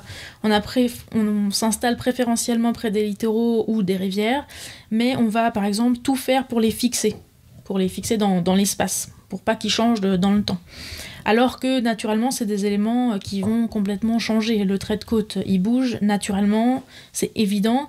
Euh, tout comme le tracé des rivières, il évolue. On a des chenaux, euh, des, des chenaux ou bien des. Il y Voilà, a des très très jolies animations d'ailleurs sur Google Earth euh, que vous pouvez voir euh, Exactement. sur la, la dynamique La des, di- des voilà. changements. C'est Exactement, c'est magnifique. Ça fait des très belles images. Donc comme je le disais tout à l'heure, après la révolution industrielle en France, on a aménagé euh, le territoire pour diminuer les risques et on a fait ça grâce à une ingénierie lourde. Des digues, des murs, des chenaux, etc. Aujourd'hui, les aménageurs se rendent compte que tout cela, euh, d'abord c'est cher, ensuite il faut toujours l'entretenir, voire reconstruire ces aménagements, et que lorsqu'il y a des événements qui dépassent la capacité de protection de ces aménagements, le danger est plus grand. Alors pourquoi est-ce que le danger est plus grand?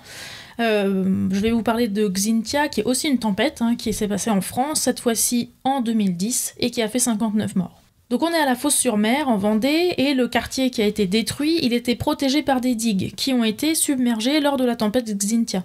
La situation est plus dangereuse pour deux raisons. D'abord pour une raison purement mécanique. Comme je disais tout à l'heure, euh, la mer qui submerge des digues va engendrer un blocage de l'eau euh, derrière ces digues. Finalement, l'eau, elle va stagner et ne pas s'évacuer. Donc ça pose évidemment euh, des problèmes qui durent en plus euh, dans le temps.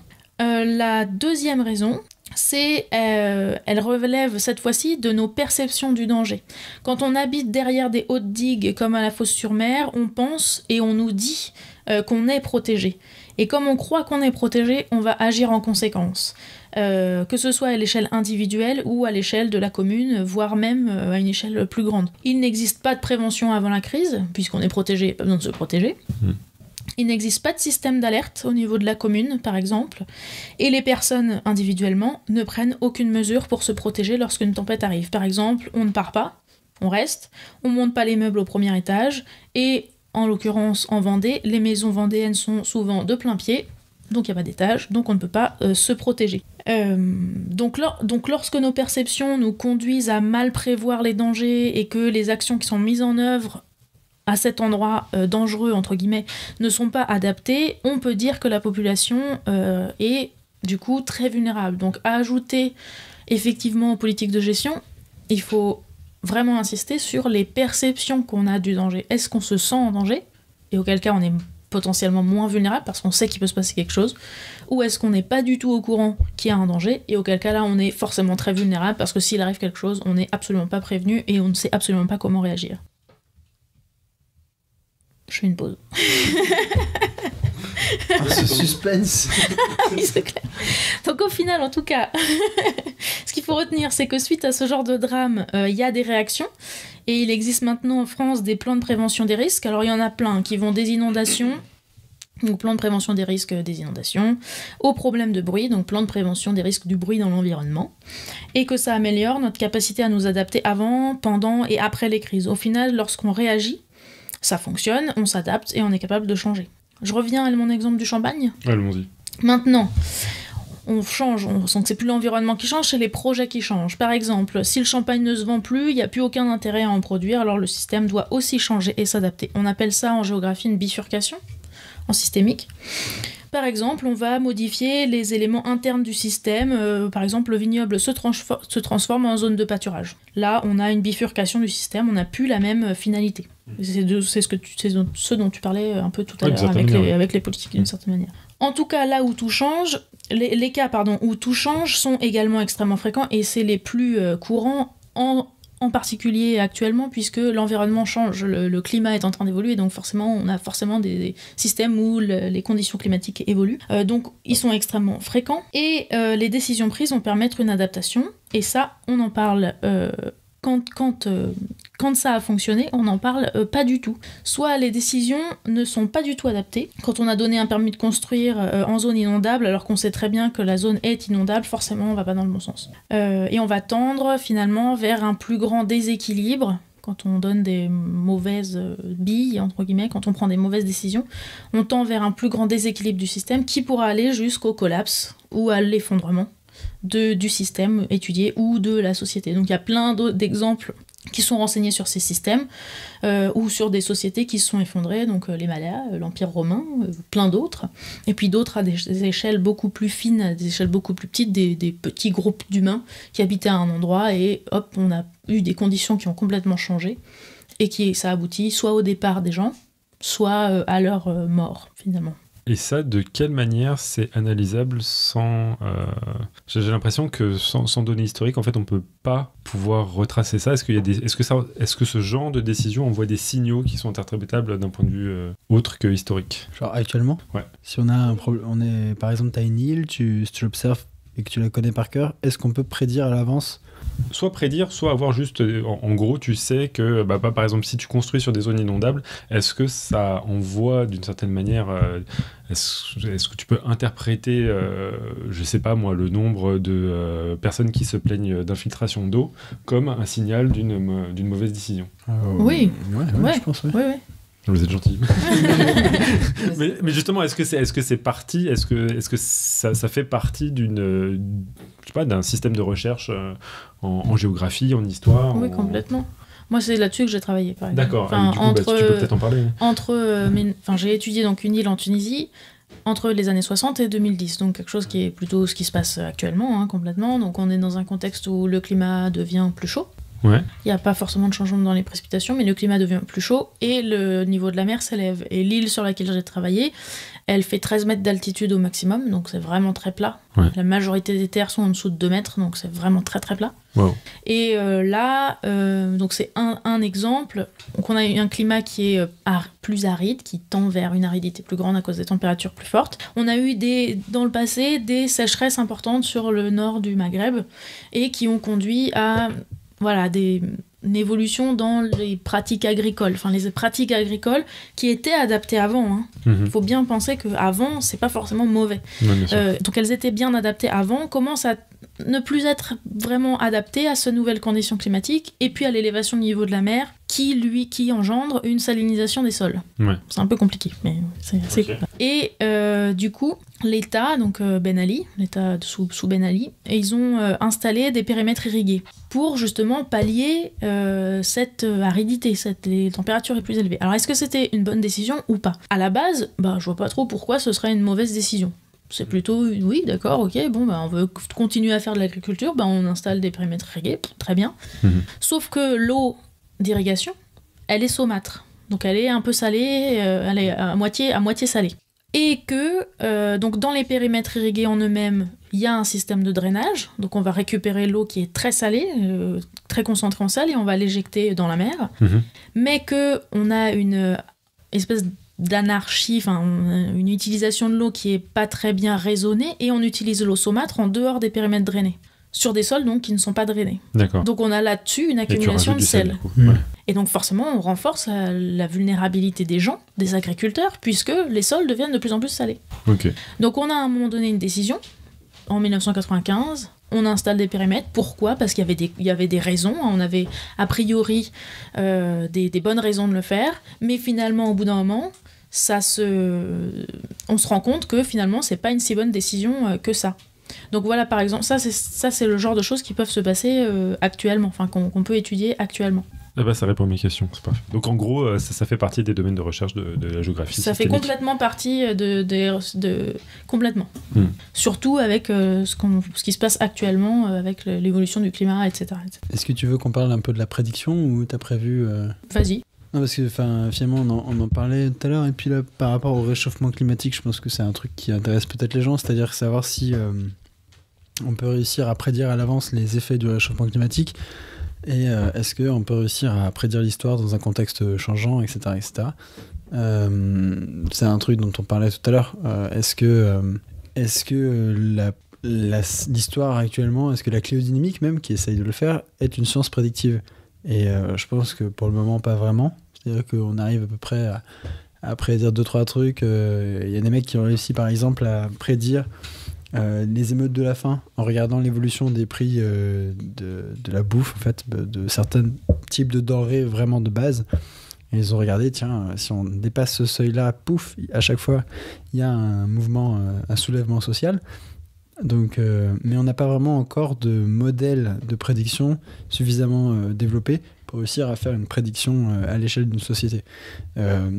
Ça, c'est un truc que je trouve assez intéressant, c'est-à-dire que finalement, on a des sociétés qui sont tellement complexes et avec des effets de rétroaction, etc., etc., euh, que même face à une forte contrainte comme le réchauffement climatique, on n'est pas capable d'arriver à dire qu'est-ce que sera le futur. Euh, tu parlais des signes noirs de, de Taleb. Euh, c'est c'est un truc assez intéressant. C'est par exemple la question classique qu'est-ce qui se serait passé si jamais Hitler avait été accepté aux Beaux-Arts? Tu vois euh, Qu'est-ce qui se serait passé si jamais, euh, je sais pas, n'importe quel grand personnage, si De Gaulle s'était fait flinguer pendant la Seconde Guerre mondiale, tu vois Euh, Si Bonaparte euh, n'avait jamais été empereur. Donc ces événements-là, en fait, sont pas du tout pris en compte dans les modèles actuels. Parce que c'est- très compliqué de les prendre en Ouais, compte. voilà, c'est des, modèles- c'est des événements extrêmes, etc. etc. Et, et je trouve intéressant de se dire que finalement, peut-être un jour, on va réussir à prendre en compte ce genre de choses. Peut-être euh, pas de façon aussi précise que ce qu'on voudrait, mais peut-être que euh, formellement, enfin, on va réussir à trouver les formalismes mathématiques euh, intéressants pour, pour les prendre en compte. Et, mais qu'en attendant, finalement, le- les meilleurs outils qu'on ait, c'est soit de faire des trucs très très généraux comme ce que fait Peter Turchin, c'est-à-dire que lui, il voit par exemple des, des patterns, donc des répétitions, tous les 50 ans, il y a un événement de violence, soit en gros, et ça je trouve ça rigolo, c'est que l'autre gros outil qu'on a pour essayer d'explorer le futur, c'est euh, la science-fiction en fait. Mm. Euh, C'est sorti déjà dans le chatroom, la psychohistoire. voilà, alors voilà, bon, la, psycho- la psychohistoire de euh, Asimov, c'est, euh, donc pour ceux qui connaissent pas, ça vient du, la trilogie, Ouais, je crois que c'est une trilogie, de Fondation. Mais après, Il en, fait, a il a fait, pas fait- il en a fait deux autres après. Donc voilà, ça, c'est ça. ça- Après, il y, a- il y a la suite de Fondation euh, qui sont euh, moins bien. Mais bon, bref, en tout cas, dans Fondation, en fait, le, le pitch, c'est que euh, il y a un mec très très fort qui s'appelle Harry Seldon, qui est euh, mathématicien mais expert et qui arrive à créer le la formule qui permet de prédire le futur de l'humanité. Voilà. Et en gros, euh, sa formule, le seul euh, truc euh, que ça demande, c'est que les gens soient pas au courant que, en gros, il y a cette formule qui existe. Du coup, il emmène sa formule sur une autre planète, etc. Et bon, c'est toute une histoire qui est vachement intéressante à ce niveau-là. Pour l'instant, on n'a pas encore cet outil-là. On n'a pas encore la fameuse formule de Harry Seldon. Et tout ce qu'on a, c'est des modèles un peu, voilà, un peu basiques, issus de l'écologie, qui permettent de dire, ah, tiens, tous les 50 ans, il y a des événements de violence aux États-Unis. Bon. Mais ce que je trouve rigolo, à titre personnel, c'est que finalement, si on veut essayer d'explorer le futur et ses conséquences, ben, ce qui nous reste, c'est peut-être des trucs vachement plus littéraires, du style, bah, essayer d'imaginer une, une chronie, quoi. On, on sait pas, c'est super difficile. On peut pas mathématiser finalement qu'est-ce qui se serait passé si Hitler avait été accepté aux Beaux-Arts. Par contre, ce que tu peux faire, c'est essayer d'imaginer un scénario dans lequel Hitler aurait été accepté aux Beaux-Arts. Et c'est ce qu'a fait euh, Manuel Schmitt, je crois. Et puis, euh, puis voilà, l'homme du haut château, tout ça. Tu, voilà. Tu dis qu'on peut pas trop simuler ça et tout, mais il me semble qu'on y arrive. On pourrait un peu en comparaison, en comparant des, surtout dans les périodes contemporaines, en comparaison, en comparaison des peuples à peu près euh, de même richesse, mais qui sont gouvernés par des gouvernements qui ont rien à voir. Et on en a quand même là pour le coup. On n'a peut-être pas tout le panel de ce qu'on pourrait avoir en type de gouvernance, mais on a quand même des variétés euh, pas négligeables, quoi, pour commencer. Pour les structures de gouvernance, euh, je suis d'accord. Mais par exemple, pour, euh, disons, euh, l'influence d'un personnage particulier, donc là, on parlait des signes noirs, Nicolas Taleb, c'est un peu son truc, c'est de dire, hey, un événement exceptionnel qui, qui arrive une fois tous les 5000 ans, tu peux pas prédire, en fait, ce qu'il va faire. Ouais. Euh, tu vois, parce qu'il est, par définition, euh, il, il obéit euh, pas trop à des lois statistiques. En tout cas, pas aux distributions classiques, genre loi normale, tout ça. Et, et ce, ce type d'événement-là, en fait, bah, tu peux pas vraiment le faire par comparaison, parce que par définition, t'as pas le. Tu, peux- tu peux comparer, je sais pas, le- Tu peux pas prédire, de- mais de tu peux déjà la, la loi quoi. des grands nombres ne fonctionne que quand tu as des grands nombres. Je veux dire, si tu veux commencer Voilà, à essayer de faire des liens de cause à effet, enfin, ou des, au moins des corrélations euh, entre deux événements, si c'est un événement qui arrive trois fois, c'est clair que c'est foutu. Ouais, bah voilà, typiquement, c'est un peu un et le grand quoi. homme, c'est, je, trouve ça assez rigolo que tu dises que l'équation, on l'a pas encore, comme si un jour on l'aura. Mais euh, Bah pourquoi pas Euh, C'est-à-dire que, bah, par exemple, t'as as eu un, t'as eu un projet, euh, donc ça faisait partie des, des fameux gros gros projets de recherche qui ont été financés par par l'Europe là. Donc t'avais, euh, j'ai oublié le nom de ces trucs là, mais t'avais euh, le Human Brain Project. Je pense que c'est celui-là. Enfin, je- ça c'est le truc des États-Unis, mais alors il y a le Big ou Blue Brain, je sais plus quoi. Enfin bref, il y a l'équivalent européen qui dont le but est de simuler un cerveau aussi. Et euh, et t'avais celui-là en compétition avec un autre dont le but était de simuler une société en fait. Enfin, si, ouais. Et euh, t'avais plein de projets de simulation de société en fait. Ça existe, c'est un champ de recherche complet. Donc je me dis, si ces gens-là bossent là-dessus, attendons, euh, je sais pas, 50, 100 ans, peut-être qu'un jour on arrivera à, à avoir des, des sociétés extrêmement complexes. Et peut-être qu'un jour on arrivera à ces fameuses Non, en... algorithmes. Hein on sera tous morts non, elles seront en grève. on n'y arrive, on n'y arrive déjà pas pour la météo, euh, donc. euh, Alors- Ah non, attends, la météo, faut pas déconner. Non, mais hein. je trouve- Faudrait je trouve- Non, mais je veux dire, c'est un truc, on, on peut démontrer scientifiquement pourquoi, euh, pourquoi on sera un foutu de, de, on sera un foutu de prévoir le, le temps qu'il fait dans un temps trop long. Donc, euh, je veux dire, c'est, c'est, Mais alors, je trouve le, le- le comparatif avec la météo est vachement intéressant parce que finalement, t'arrives pas à faire des prédictions météorologiques euh, sur la semaine qui soient extrêmement précises euh, localement. Par contre, tu peux faire des tendances climatologiques. oui, tu peux faire du climat. Et ben, et ben c'est c'est un peu ça, je pense, ce qui est le projet finalement des gens qui veulent faire de la cléodynamique ou de la psychohistoire. Euh, comment qu'on, quoi, quel que soit le nom qu'on lui donne, mais tu vois, c'est essayer de dégager des grandes tendances. Peut-être qu'un jour, on arrivera à être un peu plus Et que la, ça. et- la suite de ça, c'est euh, en fait euh, l'idée, c'est que tu as envie qu'on on arrive à, à construire euh, des, des leaders ou des façons de leader pour aller dans un bon, dans une bonne direction écologique, etc. En fait, c'est un peu la, la suite directe de ça, quoi. Et écologique, ouais, c'est au Enfin, moins, je euh, sais pas si j'utilisais les bons termes, hein, mais Ouais, ouais, ce serait un peu ça. Alors après, le problème, c'est que euh, dire euh, qu'il y a un bon truc, c'est euh, ça, ça nous rapproche un petit peu plus du nazisme. hein, c'est de dire il y a une bonne solution. mais ce, qui, ce qui est amusant, c'est que en fait là, tu pars sur des, en, sur, on est parti sur des choses très scientifiques et des études des environnements pour en arriver à des conclusions où il y a un peu, enfin tout ce qui se passe en géopolitique, c'est un peu ça, c'est de, de créer des, des mouvements euh, sociaux, humains, avec des leaders euh, créés ou non, pour euh, générer des, des conséquences sociales et économiques dans des régions, quoi. Oui, c'est bah, c'est de la Et science qui est on, et extrêmement. on est euh, complètement là-dedans, là, en y rajoutant un côté écologique, en disant bon ben là, euh, si on veut que on arrête de polluer, il faut qu'on mette tel type de leader euh, qui va faire tel type d'action dans cette direction-là. quoi. Je je sais pas si on arrivera à ce niveau-là de précision un jour, mais, mais je trouve ça assez intéressant. Ça me paraît hyper dangereux. Enfin, je pense que c'est, c'est, c'est, c'est, c'est très. On est, on est complètement en train de vivre ça avec l'économie aujourd'hui, où on, on prétend que l'économie est une science euh, dure euh, qui sait exactement ce qu'il faut faire pour résoudre le problème du chômage. Quoi. Je veux dire, c'est. euh, Ouais, alors pff, je trouve le, le rapport avec l'économie. euh, pour l'instant, per- personne ne sait prédire finalement. Si t'écoutes certains économistes, ils savent exactement ce qu'il faut faire. Enfin, je, je... Ouais, alors le, je sais. les- C'est, les et gens c'est une volonté qu'ils ont, et ils sont beaucoup plus avancés. Et a priori, on pourrait presque plus y croire que pour la politique, puisque finalement, euh, l'histoire, la politique, ça englobe, euh, ça englobe l'économie. C'est encore plus complexe, quoi. Oui, je, suis- d'accord. Le truc, c'est que l'économie expérimentale, c'est un truc qui est tout neuf. Et euh, en vrai, euh, les gens qui bossent là-dessus, enfin, moi, je connais pas non plus des masses au sujet, je suis pas économiste, mais les gens que je connais qui font de l'économie expérimentale, c'est plus des gens qui font de l'économie de la pauvreté, comme Esther Duflo, où euh, elle s'amuse à. Enfin, elle s'amuse, elle fait ça extrêmement bien d'ailleurs. Je comprends pas qu'elle ait pas encore un Nobel. C'est qu'elle elle donne des. euh, elle regarde qu'est-ce qui fait, qu'est-ce qui motive les gens à sortir de la pauvreté quelque part. Donc tu vois, enfin pour l'instant, j'ai pas l'impression qu'il y ait vraiment d'autres personnes qui fassent vraiment de l'économie expérimentale euh, en dehors de ces domaines-là. Donc je, enfin, par rapport à des gens qui diraient qu'ils ont la solution, euh, est-ce que ces gens-là ont vraiment euh, des arguments qui sont vraiment scientifiques ou est-ce que c'est juste des trucs qui sont plus politiques?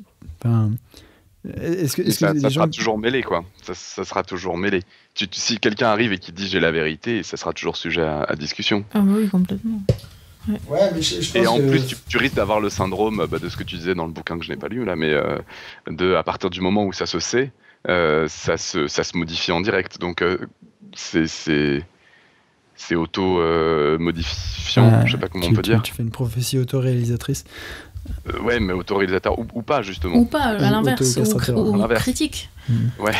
Ou critique. Et euh, enfin, c'est- là que je, je, je vois pas comment tu peux euh, mettre euh, une chose aussi complexe. Ne serait-ce déjà l'humain, j'y crois pas. Déjà, euh, Bah, je pense en fait le- le- l'énorme problème ce serait de croire qu'il y a une il y a une impossibilité de principe en fait parce que si euh, si tu pars sur le principe que c'est pas possible de faire ce genre de science euh, alors c'est même pas la peine d'essayer tu vois c'est pas, pas, euh, pas, c'est pas que c'est impossible. C'était quand tu disais, on, on aura un jour l'équation qui dit que, tu vois. c'est- Bah, pourquoi pas en fait? Bah, je, je pense pas qu'on puisse tabler sur le fait qu'un jour la science sera terminée, quoi, disons. Ça veut pas dire que tu peux pas trouver une solution une équation. je dirais dirais pas que la science c'est terminé c'est un petit peu comme la même chose de dire euh, tiens un jour on va réussir à séquencer euh, le génome entier de telle espèce ou on va réussir à prédire avec une précision de 100% le comportement d'un hématode Euh, aujourd'hui je pense qu'on peut réussir à faire des modèles très très compliqués qui permettent de prédire à 100% le, co- le comportement d'un hématode à un instant T en fonction de ce qu'il a fait dans tous les instants précédents Pour ça, il faut donner des sous à la recherche, c'est pas possible. oui. Non mais tu vois, tu vois ce que je veux dire, c'est que finalement, euh, on peut prédire le comportement d'un hématode, on peut réussir même dans certains cas à prédire euh, l'évolution d'une espèce, à, à prédire quel type de génome elle aura dans, allez, disons, 5 ans. Bon, on n'en est, pas- on est pas là, mais un jour, je pense que ce sera possible. Enfin, là, je vois pas où, quel pourrait être le problème. Donc je me dis, bah, pourquoi pas, euh, pour des sociétés humaines, avoir ce type d'outils prédictifs Qu'est- Qu'est-ce qui s'opposerait vraiment, quelque part, à, à pouvoir le faire? L'éthique, peut-être. Ouais, mais c'est pas un argument scientifique, ça. Tu, tu, C'est-à-dire, tu peux, Non, tu peux être gêné à une- l'idée de le faire, mais ça t'empêche pas scientifiquement de le faire. C'est pas un, un obstacle. Oui, mais ça peut être une des limites, Ah oui, ça peut empêcher. une- une des- un des empêchements de le faire. Bah, Parce que il y a- effectivement. Il y a à l'heure actuelle des, euh, des freins éthiques à certaines recherches et on, C'est clair. On peut en parler. Par, par exemple, euh, l'expérimentation sur embryolo- embryologie humaine, euh, c'en est un. Combien de temps avant que ça saute, ça, d'ailleurs, en parlant de ça? Bah, je, Parce je pense Chine, ils ont déjà que, commencé, non? je Je pense crois que honnêtement, c'est pas Cas9, ils l'ont aussi. euh, Oui. non, bien sûr, ils l'ont fait, mais sur un il a truc fallu avorté. attendre hein, deux semaines, euh, quoi. Vraiment Tu penses que l'éthique peut vraiment geler une recherche comme ça aussi intéressante pendant longtemps Enfin, en tout cas, le- dans Bah, tu vois, bah, typiquement, euh, vis-à-vis de toi, te- ce que tu avais parlé de, de- des décroisements euh, chimpanzés humains, euh, il y a, je pense que des limites. euh, Parce qu'il n'y avait aucun intérêt derrière. Mais dès que tu mets un intérêt euh, commercial, euh, financier, c'est sûr que ça, on s'en fout de croiser un chimpanzé avec un humain. Euh, mais Donc toi, tu penses que c'était un frein uniquement euh, Oui, économique je suis extrêmement cynique là-dessus, il n'y a aucun problème. Mais par contre, si un jour tu sors un algorithme qui permet de prédire le comportement d'une population à telle chose, euh, enfin, je vois très bien quel type, de, quel type d'intérêt peut y avoir à faire ce genre de choses, donc j'imagine très bien qu'il puisse y avoir de l'argent là-dedans. Est-ce que tu penses qu'il n'y a pas des recherches en psychotropes qui pourraient permettre de contrôler euh, de masse euh, des populations, euh, qui auraient pu être financées, etc. Qu'est-ce quels étaient les freins derrière cette euh, recherche-là? Pour contrôler les masses de population Typiquement, il y a eu à un moment euh, des, des, bah, des tests qui étaient faits sur, de LSD sur des populations entières d'un village, etc. Et c'est plus. Parce que ça marchait pas en fait, c'est c'est pour ça. Ils se sont rendus compte que ça marchait pas le MK Ultra. Et pareil, les... c'est c'est juste, je pense que ça a été tenté et ça a pas marché. Ça, ça aurait marché, je pense qu'on on serait tous. euh, ok. Donc suis soirée chocotte euh, je suis peut-être un peu cynique, mais je pense qu'à partir du moment où tu as des, des intérêts euh, derrière, c'est normal de faire de la science dessus. Enfin, les gens. Mais j'ai lu oui, plusieurs mais- interviews de Charpentier qui a inventé euh, CRISPR-Cas9 et elle dit la même chose que toi, Léo. Dans toutes ses interviews, elle dit qu'elle pense que c'est qu'une question de temps avant qu'on ait un bébé euh, Mais- CRISPR. Mais Quoi. en, en fait, c'est pas l'histoire euh, générale des sciences, ça. euh, parce qu'à chaque fois que tu as un truc euh, qui est dégueulasse, et c'est la seule limite, euh, c'est pas l'éthique. Hein. C'est la- Mais attends, je sais pas, l'atome par exemple, de... euh, tout le monde savait à quel point c'était extrêmement violent de faire de la fission nucléaire et c'est oulala, faut pas le faire. Euh, Tu parles, cinq mois après, t'avais le projet Manhattan. Enfin, tu vois ce que je veux dire, C'était un contexte assez particulier aussi. Justement, c'est ça que je me demande. C'est- typiquement, par exemple, pour euh, l'expérimentation euh, euh, humaine chimpanzé, c'était aussi un contexte de guerre, tu vois. Je me demande. euh, Ouais. En, en fait, il y a eu un seul chercheur qui a tenté ça. Enfin, je- il n'y a pas vraiment eu de programme de recherche, contrairement à. Oui, non, mais et et c'est pareil pour le, pour le LSD. Je me demande dans quelle mesure, à partir du moment où ça a été fait par euh, un système euh, bah, de, de- de recherche de défense, à quel point tu peux envisager ça autre part que dans un contexte de guerre et non pas économique? Alors par rapport, par rapport à essayer de créer genre ce fameux algorithme qui permettrait de prédire le futur de l'humanité, Quel est déjà l'incentive économique, on va dire le... je sais pas, euh, si tu voulais vendre euh, un truc à une population en entier pendant euh, 50 ans, euh, ça serait... ah, Ou euh, tu voudrais euh, contrôler euh, une population particulière pendant longue durée, ça me, ça me semble tellement utile pour tous les décideurs, je vois pas comment les gens peuvent ne pas euh, travailler dessus en fait. Je, enfin, tu le vois toi-même l'intérêt, enfin, je, je pense. Je vois l'intérêt, mais j'ai quand même parfois un espoir en certains euh, freins éthiques. Euh, Peut-être qu'il n'est pas partagé Lol. par l'intégralité des civilisations, mais... LOL, MDR, JPP. Mais c'est sûr que ça peut être très dangereux. hein. Euh, En fait, comme, euh, dans, comme, dans euh, ce genre de domaine, ouais, effectivement, s'il y a un frein, il faut que ce soit un frein euh, scientifique, comme euh, disait. euh, euh, C'était qui qui disait ça d'ailleurs Qu'il y avait peut-être on n'arriverait jamais à le faire. Robin. C'était les jeunes? Ah, Robin. Mais ouais, je, je pense que enfin, ce genre de truc, pour moi, bon, euh, je suis peut-être naïf, hein, je, je suis pas expert dans le domaine, mais Je- je suis peut-être. Ouais, bah, un petit peu. ouais. Mais euh, disons que si un jour on arrive, par exemple, à prédire, euh, parce qu'il y a beaucoup de travail qui est fait dans la, la science des réseaux, tout ça, un jour on arrive à prédire très finement le comportement d'un écosystème euh, dans le temps, soumis à différentes contraintes, je vois pas ce qui s'oppose à ce qu'on applique ce type de science à euh, des sociétés, euh, même en réduisant les humains, finalement, chaque individu, tu, tu le réduis à une espèce d'agent avec euh, très peu de propriété, et tu vois, enfin, tu fais un modèle simplifié, mais peut-être que ça aura une portée prédictive suffisante pour que ce soit intéressant économiquement, etc. Et je vois pas, je vois pas ce qui empêcherait quiconque de bosser là-dessus, et peut-être même que ça pourrait avoir des résultats scientifiques extrêmement intéressants. Quiconque bossait dessus, absolument aucun problème. Lancer des recherches, aucun problème. Après, l'appliquer, c'était vraiment la question que soulevait Lucille. Là, je pense qu'il y a une question. Et en même temps, ouais, c'est vrai qu'on a en même temps une capacité euh, à ne pas faire ce qu'on nous dit de faire, une capacité de, de- de réponse et de critique et de... En France en particulier, hein, on est champion pour faire la grève et pour pas être d'accord.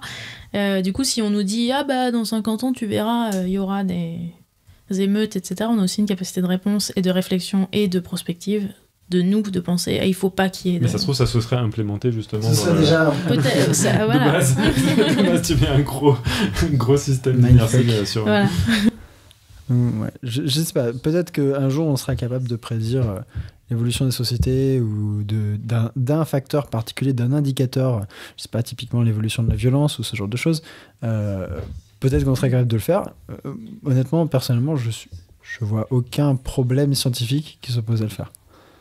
J'ai l'impression qu'on est en train aujourd'hui de développer les outils qui nous permettront de développer ce type de, C'est sûr qu'on va vers une complexification des modèles. euh, ils prennent en compte de plus en plus de facteurs qui sont extrêmement complexes dans différentes couches de la, en, en particulier les modèles climatiques. Là, je parle des différentes couches euh, de l'atmosphère, de la mer, le couplage entre la mer et l'atmosphère, avec les émissions de gaz à effet de serre des, des- des- des humains, etc. Effectivement, on va vers une complexification des, des Ouais. systèmes. Il y a un autre, euh, je Des- pense, une autre métaphore, c'est peut-être les modèles de cerveau. Aujourd'hui, euh, enfin, genre, t'aurais dit il y a 10 ans à quelqu'un, hey, on va essayer de modéliser le cerveau en ordinateur, il t'aurait rigolé au nez en te disant, mais le cerveau, c'est une complexité irréductible, etc., etc. Aujourd'hui, c'est exactement ce que tentent de faire les gens en créant des modèles avec euh, des milliards de neurones interconnectés, et, euh, et il te faut euh, genre une année complète de calcul pour réussir à faire un cerveau entre guillemets un cerveau qui réfléchit pendant une seconde en ordinateur mais je pense qu'un jour on arrivera à faire des cerveaux in silico. Et je vois je vois pas enfin il n'y a pas de limite euh, réelle scientifique à ça. Il n'y a pas de vrai obstacle. Alors, je sais juste pas, je sais pas ce que tu appelles une limite scientifique en fait. C'est peut-être ça qu'il faudrait que tu définisses. Ah, je sais pas par exemple le typique euh, un truc mathématique qui fait que tu peux ou, tu Genre vois, la vitesse de la lumière. voilà la vitesse de lumière ou le principe d'Eisenberg où tu peux pas avoir et la position et D'accord, donc en gros, tu dis qu'il n'y a pas de limite euh, Théorique, fonctionnelle fondamentale ouais. à, à accomplir ça. D'accord. Voilà. Donc peut-être qu'un jour on sera capable de le faire. Enfin, si c'est juste une question de puissance de calcul, à mon avis, un jour on sera capable de, de prédire l'évolution de la société. Et peut-être, et là où ça sera intéressant, c'est de faire de la rétro-prédiction quelque part. C'est de, c'est-à-dire, t'es capable de prendre l'état actuel de ta société, que tu peux euh, l'étendre et 30 ans dans le futur, peut-être que tu pourras euh, l'étendre dans le sens inverse. euh, 300 ans dans le passé, tu vois, pour voir si euh, Ah bah, c'est ça, ça peut- je pense que c'est un des, des premiers tests à faire pour pouvoir si, si- C'est si d'ailleurs comme ça qu'on teste teste les modèles. Ah, modèles les modèles climatiques, toujours, euh, on essaye d'abord de modéliser le climat du passé Mhm. pour ensuite dire, OK, il a bien, il a bien simulé ce qu'on a observé. euh, on lance sur de la prédiction. Mais avant, il faut que ce soit quand même pas mal euh, calibré sur, le, sur ce qu'on a déjà observé. Ok. Est-ce que tu as un mot de la fin à nous soumettre Ou des Huître. considérations finales Huître. Hein C'est le mot de la Huître. Ah, c'est bien Huître. huître. Non, ça j'aime pas. Comment ça, t'aimes pas les Je huîtres préfère bulot. C'est un joli mot de la fin. Bulot. Léo, Non, non, un en mot de fait, la fin moi j'ai une question, mais euh, Ouais. après, si tu avais peut-être des. Non, des j'ai pas, j'ai pas. D'accord, alors moi j'ai une considération, c'est que on, je crois qu'on a, on, on est parti de, justement de, de- du documentaire de Léo euh, dans lequel on avait des considérations sur deux îles euh, pour lesquelles on essayait de trouver des facteurs qui permettraient d'expliquer. On a bien compris dans tout, euh, finalement tout ton dossier que euh, ça rentrait dans le cadre d'une géographie qui se... Je sais pas, elle date de combien de temps? 20 ans, 30 ans, euh, cette géographie systémique euh, 20 ans, 30 ans, d'accord? Maintenant, est-ce que cette géographie systémique, comment tu envisagerais euh, sa, réponse à, à la question de, de Léo euh, pourquoi des pays sont riches, pourquoi des pays sont pauvres? Comment tu, tu envisagerais que quelqu'un se, se mette à travailler sur le, le Timor et sur euh, Bali euh, que- co- Comment ça se passerait en gros? Bon, alors tu me poses la question. euh. bah, tout à l'heure, on parlait des pouces verts et pouces rouges sur les vidéos YouTube. Bah, moi, juste en voyant le titre, j'aurais mis un pouce rouge parce qu'on ne, po- on ne se pose pas ce genre de questions qui sont un peu dangereuses. Au sens où, on- au sens où- exactement dans ce qu'on vient juste de dire, au sens, euh, bon, bah, dans ce cas-là, on va dire c'est facile après d'être riche ou d'être pas riche. Et ouais, c'est un peu facile après. C'est quand la question qu'on pose, on, on- on attend une réponse. Comment on fait alors pour être riche? Et du coup, c'est une question qui est assez euh, qu'on va pas qu'on va pas se poser en comme telle quelle en tout cas en géographie. Même si c'est un état des lieux. Genre tu vois qu'un pays est pauvre, tu vois qu'un pays est... est- Bah dans est ce cas-là, on fait une étude de cas. Ouais, mais justement. Mais c'est pas la question, ça va pas être pourquoi est-ce que un pays un pays euh, parmi tant d'autres est riche ou est pauvre, c'est pourquoi est-ce que quelle est la qu'est-ce qui fait que ces deux îles qui sont même, qui sont dans un climat différent, qui ont des histoires euh, enfin qui ont Ça des fait- choses ça fait un- similaires un, titre trop long sur YouTube. Mais oui, c'est exactement ça. Mais c'est exactement ça. Mais en même temps, c'est ça aussi, le- on parlait tout à l'heure de la recherche et de la vulgarisation. Ouais. En même temps, c'est vrai que souvent dans la recherche, il y a plein de petits détails qui font que, qui font la différence, euh, qui, oh, effectivement, euh, moi j'aimerais bien, enfin, c'est évidemment super euh, cool de faire de, de, de- de raconter des trucs super funky et super un peu tranchés comme ça, mais effectivement, c'est en vrai, en vrai, c'est beaucoup plus compliqué en fait. Donc t'aurais mis un... Euh, mon, mon titre de thèse, il fait euh, trois lignes. hein. Enfin, je veux dire, c'est. Ouais, bah oui. c'est vrai, on en revient à ça. On en revient à ça, ouais. Mais je- j'aurais mis pour le titre, oui, et après dans la vidéo, moins, D'accord. quand même. Dans les explications, effectivement. C'est-à-dire qu'elle t'aurait mis un pouce rouge et puis après peut-être qu'elle t'aurait mis un pouce rouge. Mais c'est plutôt pour ta gueule, mais bon ça c'est... rassurage. Voilà, donc c'est vrai, en géographie, on se serait pas posé la question telle qu'elle, en fait. Du coup, Johan et Robin, est-ce que vous avez euh, récupéré la myriade de questions que j'ai vu défiler dans la chatroom Est-ce que la prévention des risques augmente la gravité des événements non prévus ou augmente la probabilité des événements peu fréquents Alors, est-ce qu'on peut, reposer la question Ta mère. Arrêtez la bière là. Réponse Est-ce que la prévention des risques. Augmente la gravité des événements non prévus ou Non. augmente la probabilité des événements peu fréquents Non, bah non. Euh, c'est- Je sais pas ce que Bruce veut dire. Est-ce qu'il part peut-être de la probabilité relative? Est-ce que du coup, si tu prévois. Ouais, bah non, non. non Parce que la, la prévention des risques ne va pas du tout augmenter le nombre d'événements qui se produisent. Le nombre d'événements qui se produisent n'a rien à voir avec la gestion. Ouais, non, je suis d'accord. Bon. Par Euh, contre, euh, il y a eu effectivement des, des- des chiffres qui... En fait, on a à peu près toujours le même nombre d'événements. Alors, je sais plus lesquels c'est d'événements. euh, d'événements qui provoquent des catastrophes. On a toujours à peu près le même nombre d'événements catastrophiques là. Par contre, les, le nombre de victimes a largement augmenté et les coûts de, de, de- de- après, après les crises ont largement explosé. Donc c'est peut-être ça dont il parle, je sais pas. Et ça, c'est complètement lié euh, au développement euh, de nos sociétés dans les zones à risque, tout simplement. C'est-à-dire qu'après, on peut mettre en place une gestion, euh, intéressante et sensée, etc. Et en même temps, que ce soit toujours plus cher parce qu'on est toujours plus nombreux et qu'on a toujours plus d'infrastructures dans les zones à risque. Je sais pas si je réponds à la question. Ah, Il n'est pas dans la chatroom ou il n'est plus dans la chatroom, donc il ne pourra pas Euh, nous réexpliquer. Corps est, est- est là, mais je- il répond plus, donc je sais pas où il est. Donc, euh, oui. bon, on va dire que ça ira. C'est exactement ça. Et une c'est question exactement pour. Léo de Wolf Robot. Est-ce que tu, est-ce qu'on sous-estime pas le public dans la vulgarisation entre, et comment tu doses? Point d'interrogation. Bon, moi, je pars du principe qu'ils sont intelligents, de base. Euh, c'est pour ça que. Je pars du principe qu'ils sont intelligents. pas pour des cons, mais n'oublie pas qu'il est dans son. Voilà, mais euh, ça c'est ça c'est quand je lis les commentaires en général, je me dis ah en fait non, ah j'ai fait une erreur, je les ai surestimés. Euh, non, c'est tu pars toujours du principe que c'est des gens très intelligents, mais qu'ils n'ont pas fait les études. C'est-à-dire, c'est les gens sont très malins, mais ils ont peut-être pas le background euh, ou les termes, etc. Donc, faut les faut leur instruire. Tu peux aller très très fort dans les concepts parce que les gens sont très forts pour manier des concepts, même- compliqués. Euh, mais c'est juste que faut leur donner les outils pour comprendre les concepts. Donc en général, euh, enfin moi j'hésite pas à- dans mes épisodes à parler de trucs qui sont de niveau master. Je le fais en général, c'est ça. Genre quand j'ai parlé de psychologie évolutionniste, tout ça, c'est des trucs que tu vois plutôt en master. Euh, mais en même temps, tu l'introduis de façon fun parce que t'es pas censé faire un cours de master non plus, quoi. Donc t- tu peux rester fun. Et dans tes stats, c'est quoi la, la tranche d'âge la plus jeune? Euh, bah, Il y a des gens qui sont euh, de 15-25 ans. Euh, après, je pense que j'ai quasiment la moitié de mon public qui est entre euh, 25 et 35.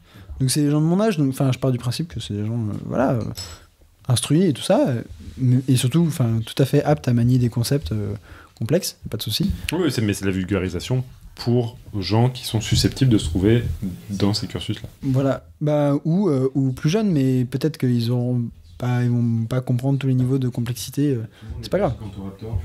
Voilà, c'est ça. Mais enfin, euh, je pars du principe que les gens sont intelligents de base, quoi. Et des fois, je m'en mords les doigts. Ah, ah, ah. C'est une réaction de Wolf Robot qui dit c'est une histoire de vocabulaire plus que de remanier le fond finalement. Ouais, le fond, euh, je pense que vraiment les gens sont capables de, de comprendre des concepts très très avancés en sciences. C'est juste que bah, ils sont pas censés euh, savoir tous les termes euh, spécifiques, quoi. Et ils n'ont pas non plus accès à l'information scientifique, les articles, etc., qui sont assez euh, obscurs finalement. Même pour euh, nous, hein, des fois, c'est. Ok. Si c'est fini, euh, je vais lancer le pitch de la semaine prochaine. Est-ce que vous avez fait vos devoirs? Est-ce que vous avez ramené une quote? Ouais. Oui. Il y en a trois. Oui. Très bien. Bah, je, je vous trois. la- je vais d'abord faire le pitch et puis je vous laisse du coup euh, la préparer. Alors, donc le pitch de la semaine prochaine. La semaine prochaine, Irène nous fera un dossier sur euh, le système im- immunitaire. Donc, ce système qui est bien connu, c'est notre armée personnelle en place pour nous protéger et éliminer les intrus. Le but est très simple. Tout ce qui ne fait pas partie de soi-même est bon à détruire. Une façon peut-être contestable de procéder, mais pour faire le ménage dans la maison, c'est efficace. Imaginez ainsi une misérable petite bactérie qui se présente dans votre nez et une avalanche de cellules qui viennent la dévorer. Une cellule dans votre organisme qui décide avec quelques voisines qu'elles en ont marre de se conformer aux règles et aux codes. Les rebelles vont être éliminés de facto par une armée très organisée et complexe de chasseurs et tueurs. Dans cet épisode 262 de Podcast Science, nous verrons comment est défini le soi, comment se compose et s'organise cette armée incroyablement complexe et efficace, et comment au bout du compte on ne comprend pas bien les rouages compliqués de cette organisation? Pour cela, nous utiliserons quelques exemples de ce système en action, y compris ce qui se passe quand tout ne se déroule pas exactement comme prévu. Super, Et ça du coup- très bien. Bah, J'espère, ouais. on lui a pas trop laissé le temps parce que ça a été un peu. J'avais oublié une date, donc euh, il n'y avait pas d'émission la semaine prochaine. Du coup, euh, c'est. Mais euh, elle a, elle a super remplacé au pied levé. Merci Irène, quand tu nous écouteras. Ouais, C'est super Irène. Et du coup, bah la quote. Je vous laisse. Alors, la quote de, euh, que Léo a trouvée. C'est difficile de faire des prédictions, en particulier en ce qui concerne le futur. Je crois que ça illustre bien finalement tout ce qu'on a dit. Alors, euh, de qui est-ce que c'est cette quote Euh, Finalement, on sait pas trop. Ouais, on sait pas trop. T'as, t'as Albert Einstein. Ouais, Albert Einstein. Voilà, Albert. Einstein. le- Parce qu'en en vérité, il y a même, euh, tu peux trouver des articles de blog où les gens essayent de retracer l'origine de cette citation. Et euh, tu vois qu'elle a été citée par pff, une vingtaine de personnes facile. Euh, entre Niels Bohr, euh, Mark Twain, Einstein, euh, ma mère. Maman, si tu m'entends. Noël, ma mère. Ouais, Noël. Les boules de Noël. Les blancs de ma mère. J'ai tellement honte. Voilà. Voilà, sinon on avait trouvé Rien n'est permanent sauf le changement. Euh, voilà, c'est d'Héraclite d'Éphèse, un grec qui avait tout compris. Très bien. Et je dis la troisième ou elle est trop déprimante? Allez, il faut finir. Parce que de toute façon, c'était déprimant hein, comme émission. Enfin, vous Oh avez non, été c'est pas un, super, euh, C'est pas un- déprimant. un super duo pour nous préparer ce dossier, mais très très honnêtement, euh, moi je déprime. Ah mais non, faut pas déprimer, on n'est pas, on n'est pas catastrophiste là, pas du tout. Donc le changement du monde n'est pas seulement création ou progrès, il est d'abord et toujours décomposition et crise. Et c'est d'Alain Touraine qui est un sociologue français. Et effectivement, enfin, j'avais trouvé cette euh, citation intéressante parce que on est obligé de passer par des périodes de stabilité, puis une crise, puis une stabilité, puis une crise, et que ça fait partie de l'évolution de nos sociétés. C'est un phénomène complètement normal et qu'il ne faut pas en avoir peur. Après, on peut y réfléchir pendant une semaine. Mais moi, je, je- vois de quoi avoir peur. En fait, euh, c'est toujours. euh, faut, savoir de, de quel po- côté du, du couteau tu te places en fait pour pouvoir avoir peur ou non. Tu vois. Ah ouais, Léo, je pense qu'il est à fond. là. De toute façon, vous voyez pas, mais là, il est, dé- il est déguisé en Cortex de Minus et Cortex. euh. C'est même pas la peine de voter en fait, on s'en fout. euh. Votez pour mon algorithme. Donc, euh, si vous avez aimé cette euh, émission, euh, vous pouvez n'hésitez pas à aller visiter la chaîne de Léo. Donc, je sais pas si, si certaines personnes ne la connaissent pas. Donc, Dirty Biology. Euh, sinon, bah, donc n'hésitez pas à la partager sur les réseaux sociaux, Facebook, Google, SoundCloud. Euh, Est-ce que j'en oublie? J'en oublie sûrement Twitter. Et euh, si vous voulez, vous pouvez aussi euh, nous supporter sur Patreon ou supporter Léo sur Tipeee. Voilà. Euh, on vous souhaite à la semaine prochaine pour vous retrouver avec le système immunitaire. Retrouvez les meilleurs livres audio de science sur devivoix.com. Écoutez le prix Nobel Serge Haroche ou le mathématicien Cédric, Villani vous raconter leurs expériences dans des enregistrements inédits. Bénéficiez d'une réduction de 30% grâce au code podcast sur devivoix.com. De vive voix, des savoirs qui vous parlent. Et que servir la science soit votre choix. Servir la chaîne de.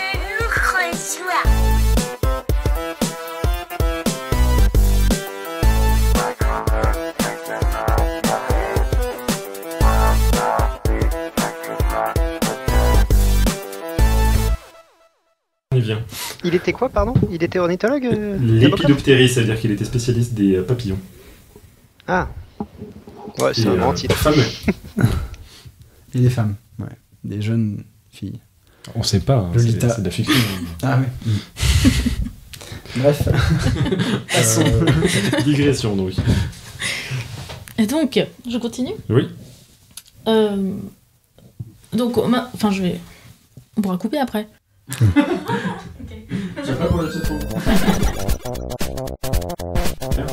Est-ce que ça les intéresse ou est-ce qu'ils veulent qu'on parle d'autre chose? Par contre, si on pouvait changer de sujet, euh, ils nous emmerdent un peu. euh, on préférerait des maths. Enfin, je sais pas, hein, c'est ce qui est écrit dans la chatroom. Mais des fois, c'est bien de On changer. a beau euh, rebooter la, la chatroom, euh, on a beau rebooter le live, mais il y a encore Robin, je comprends pas.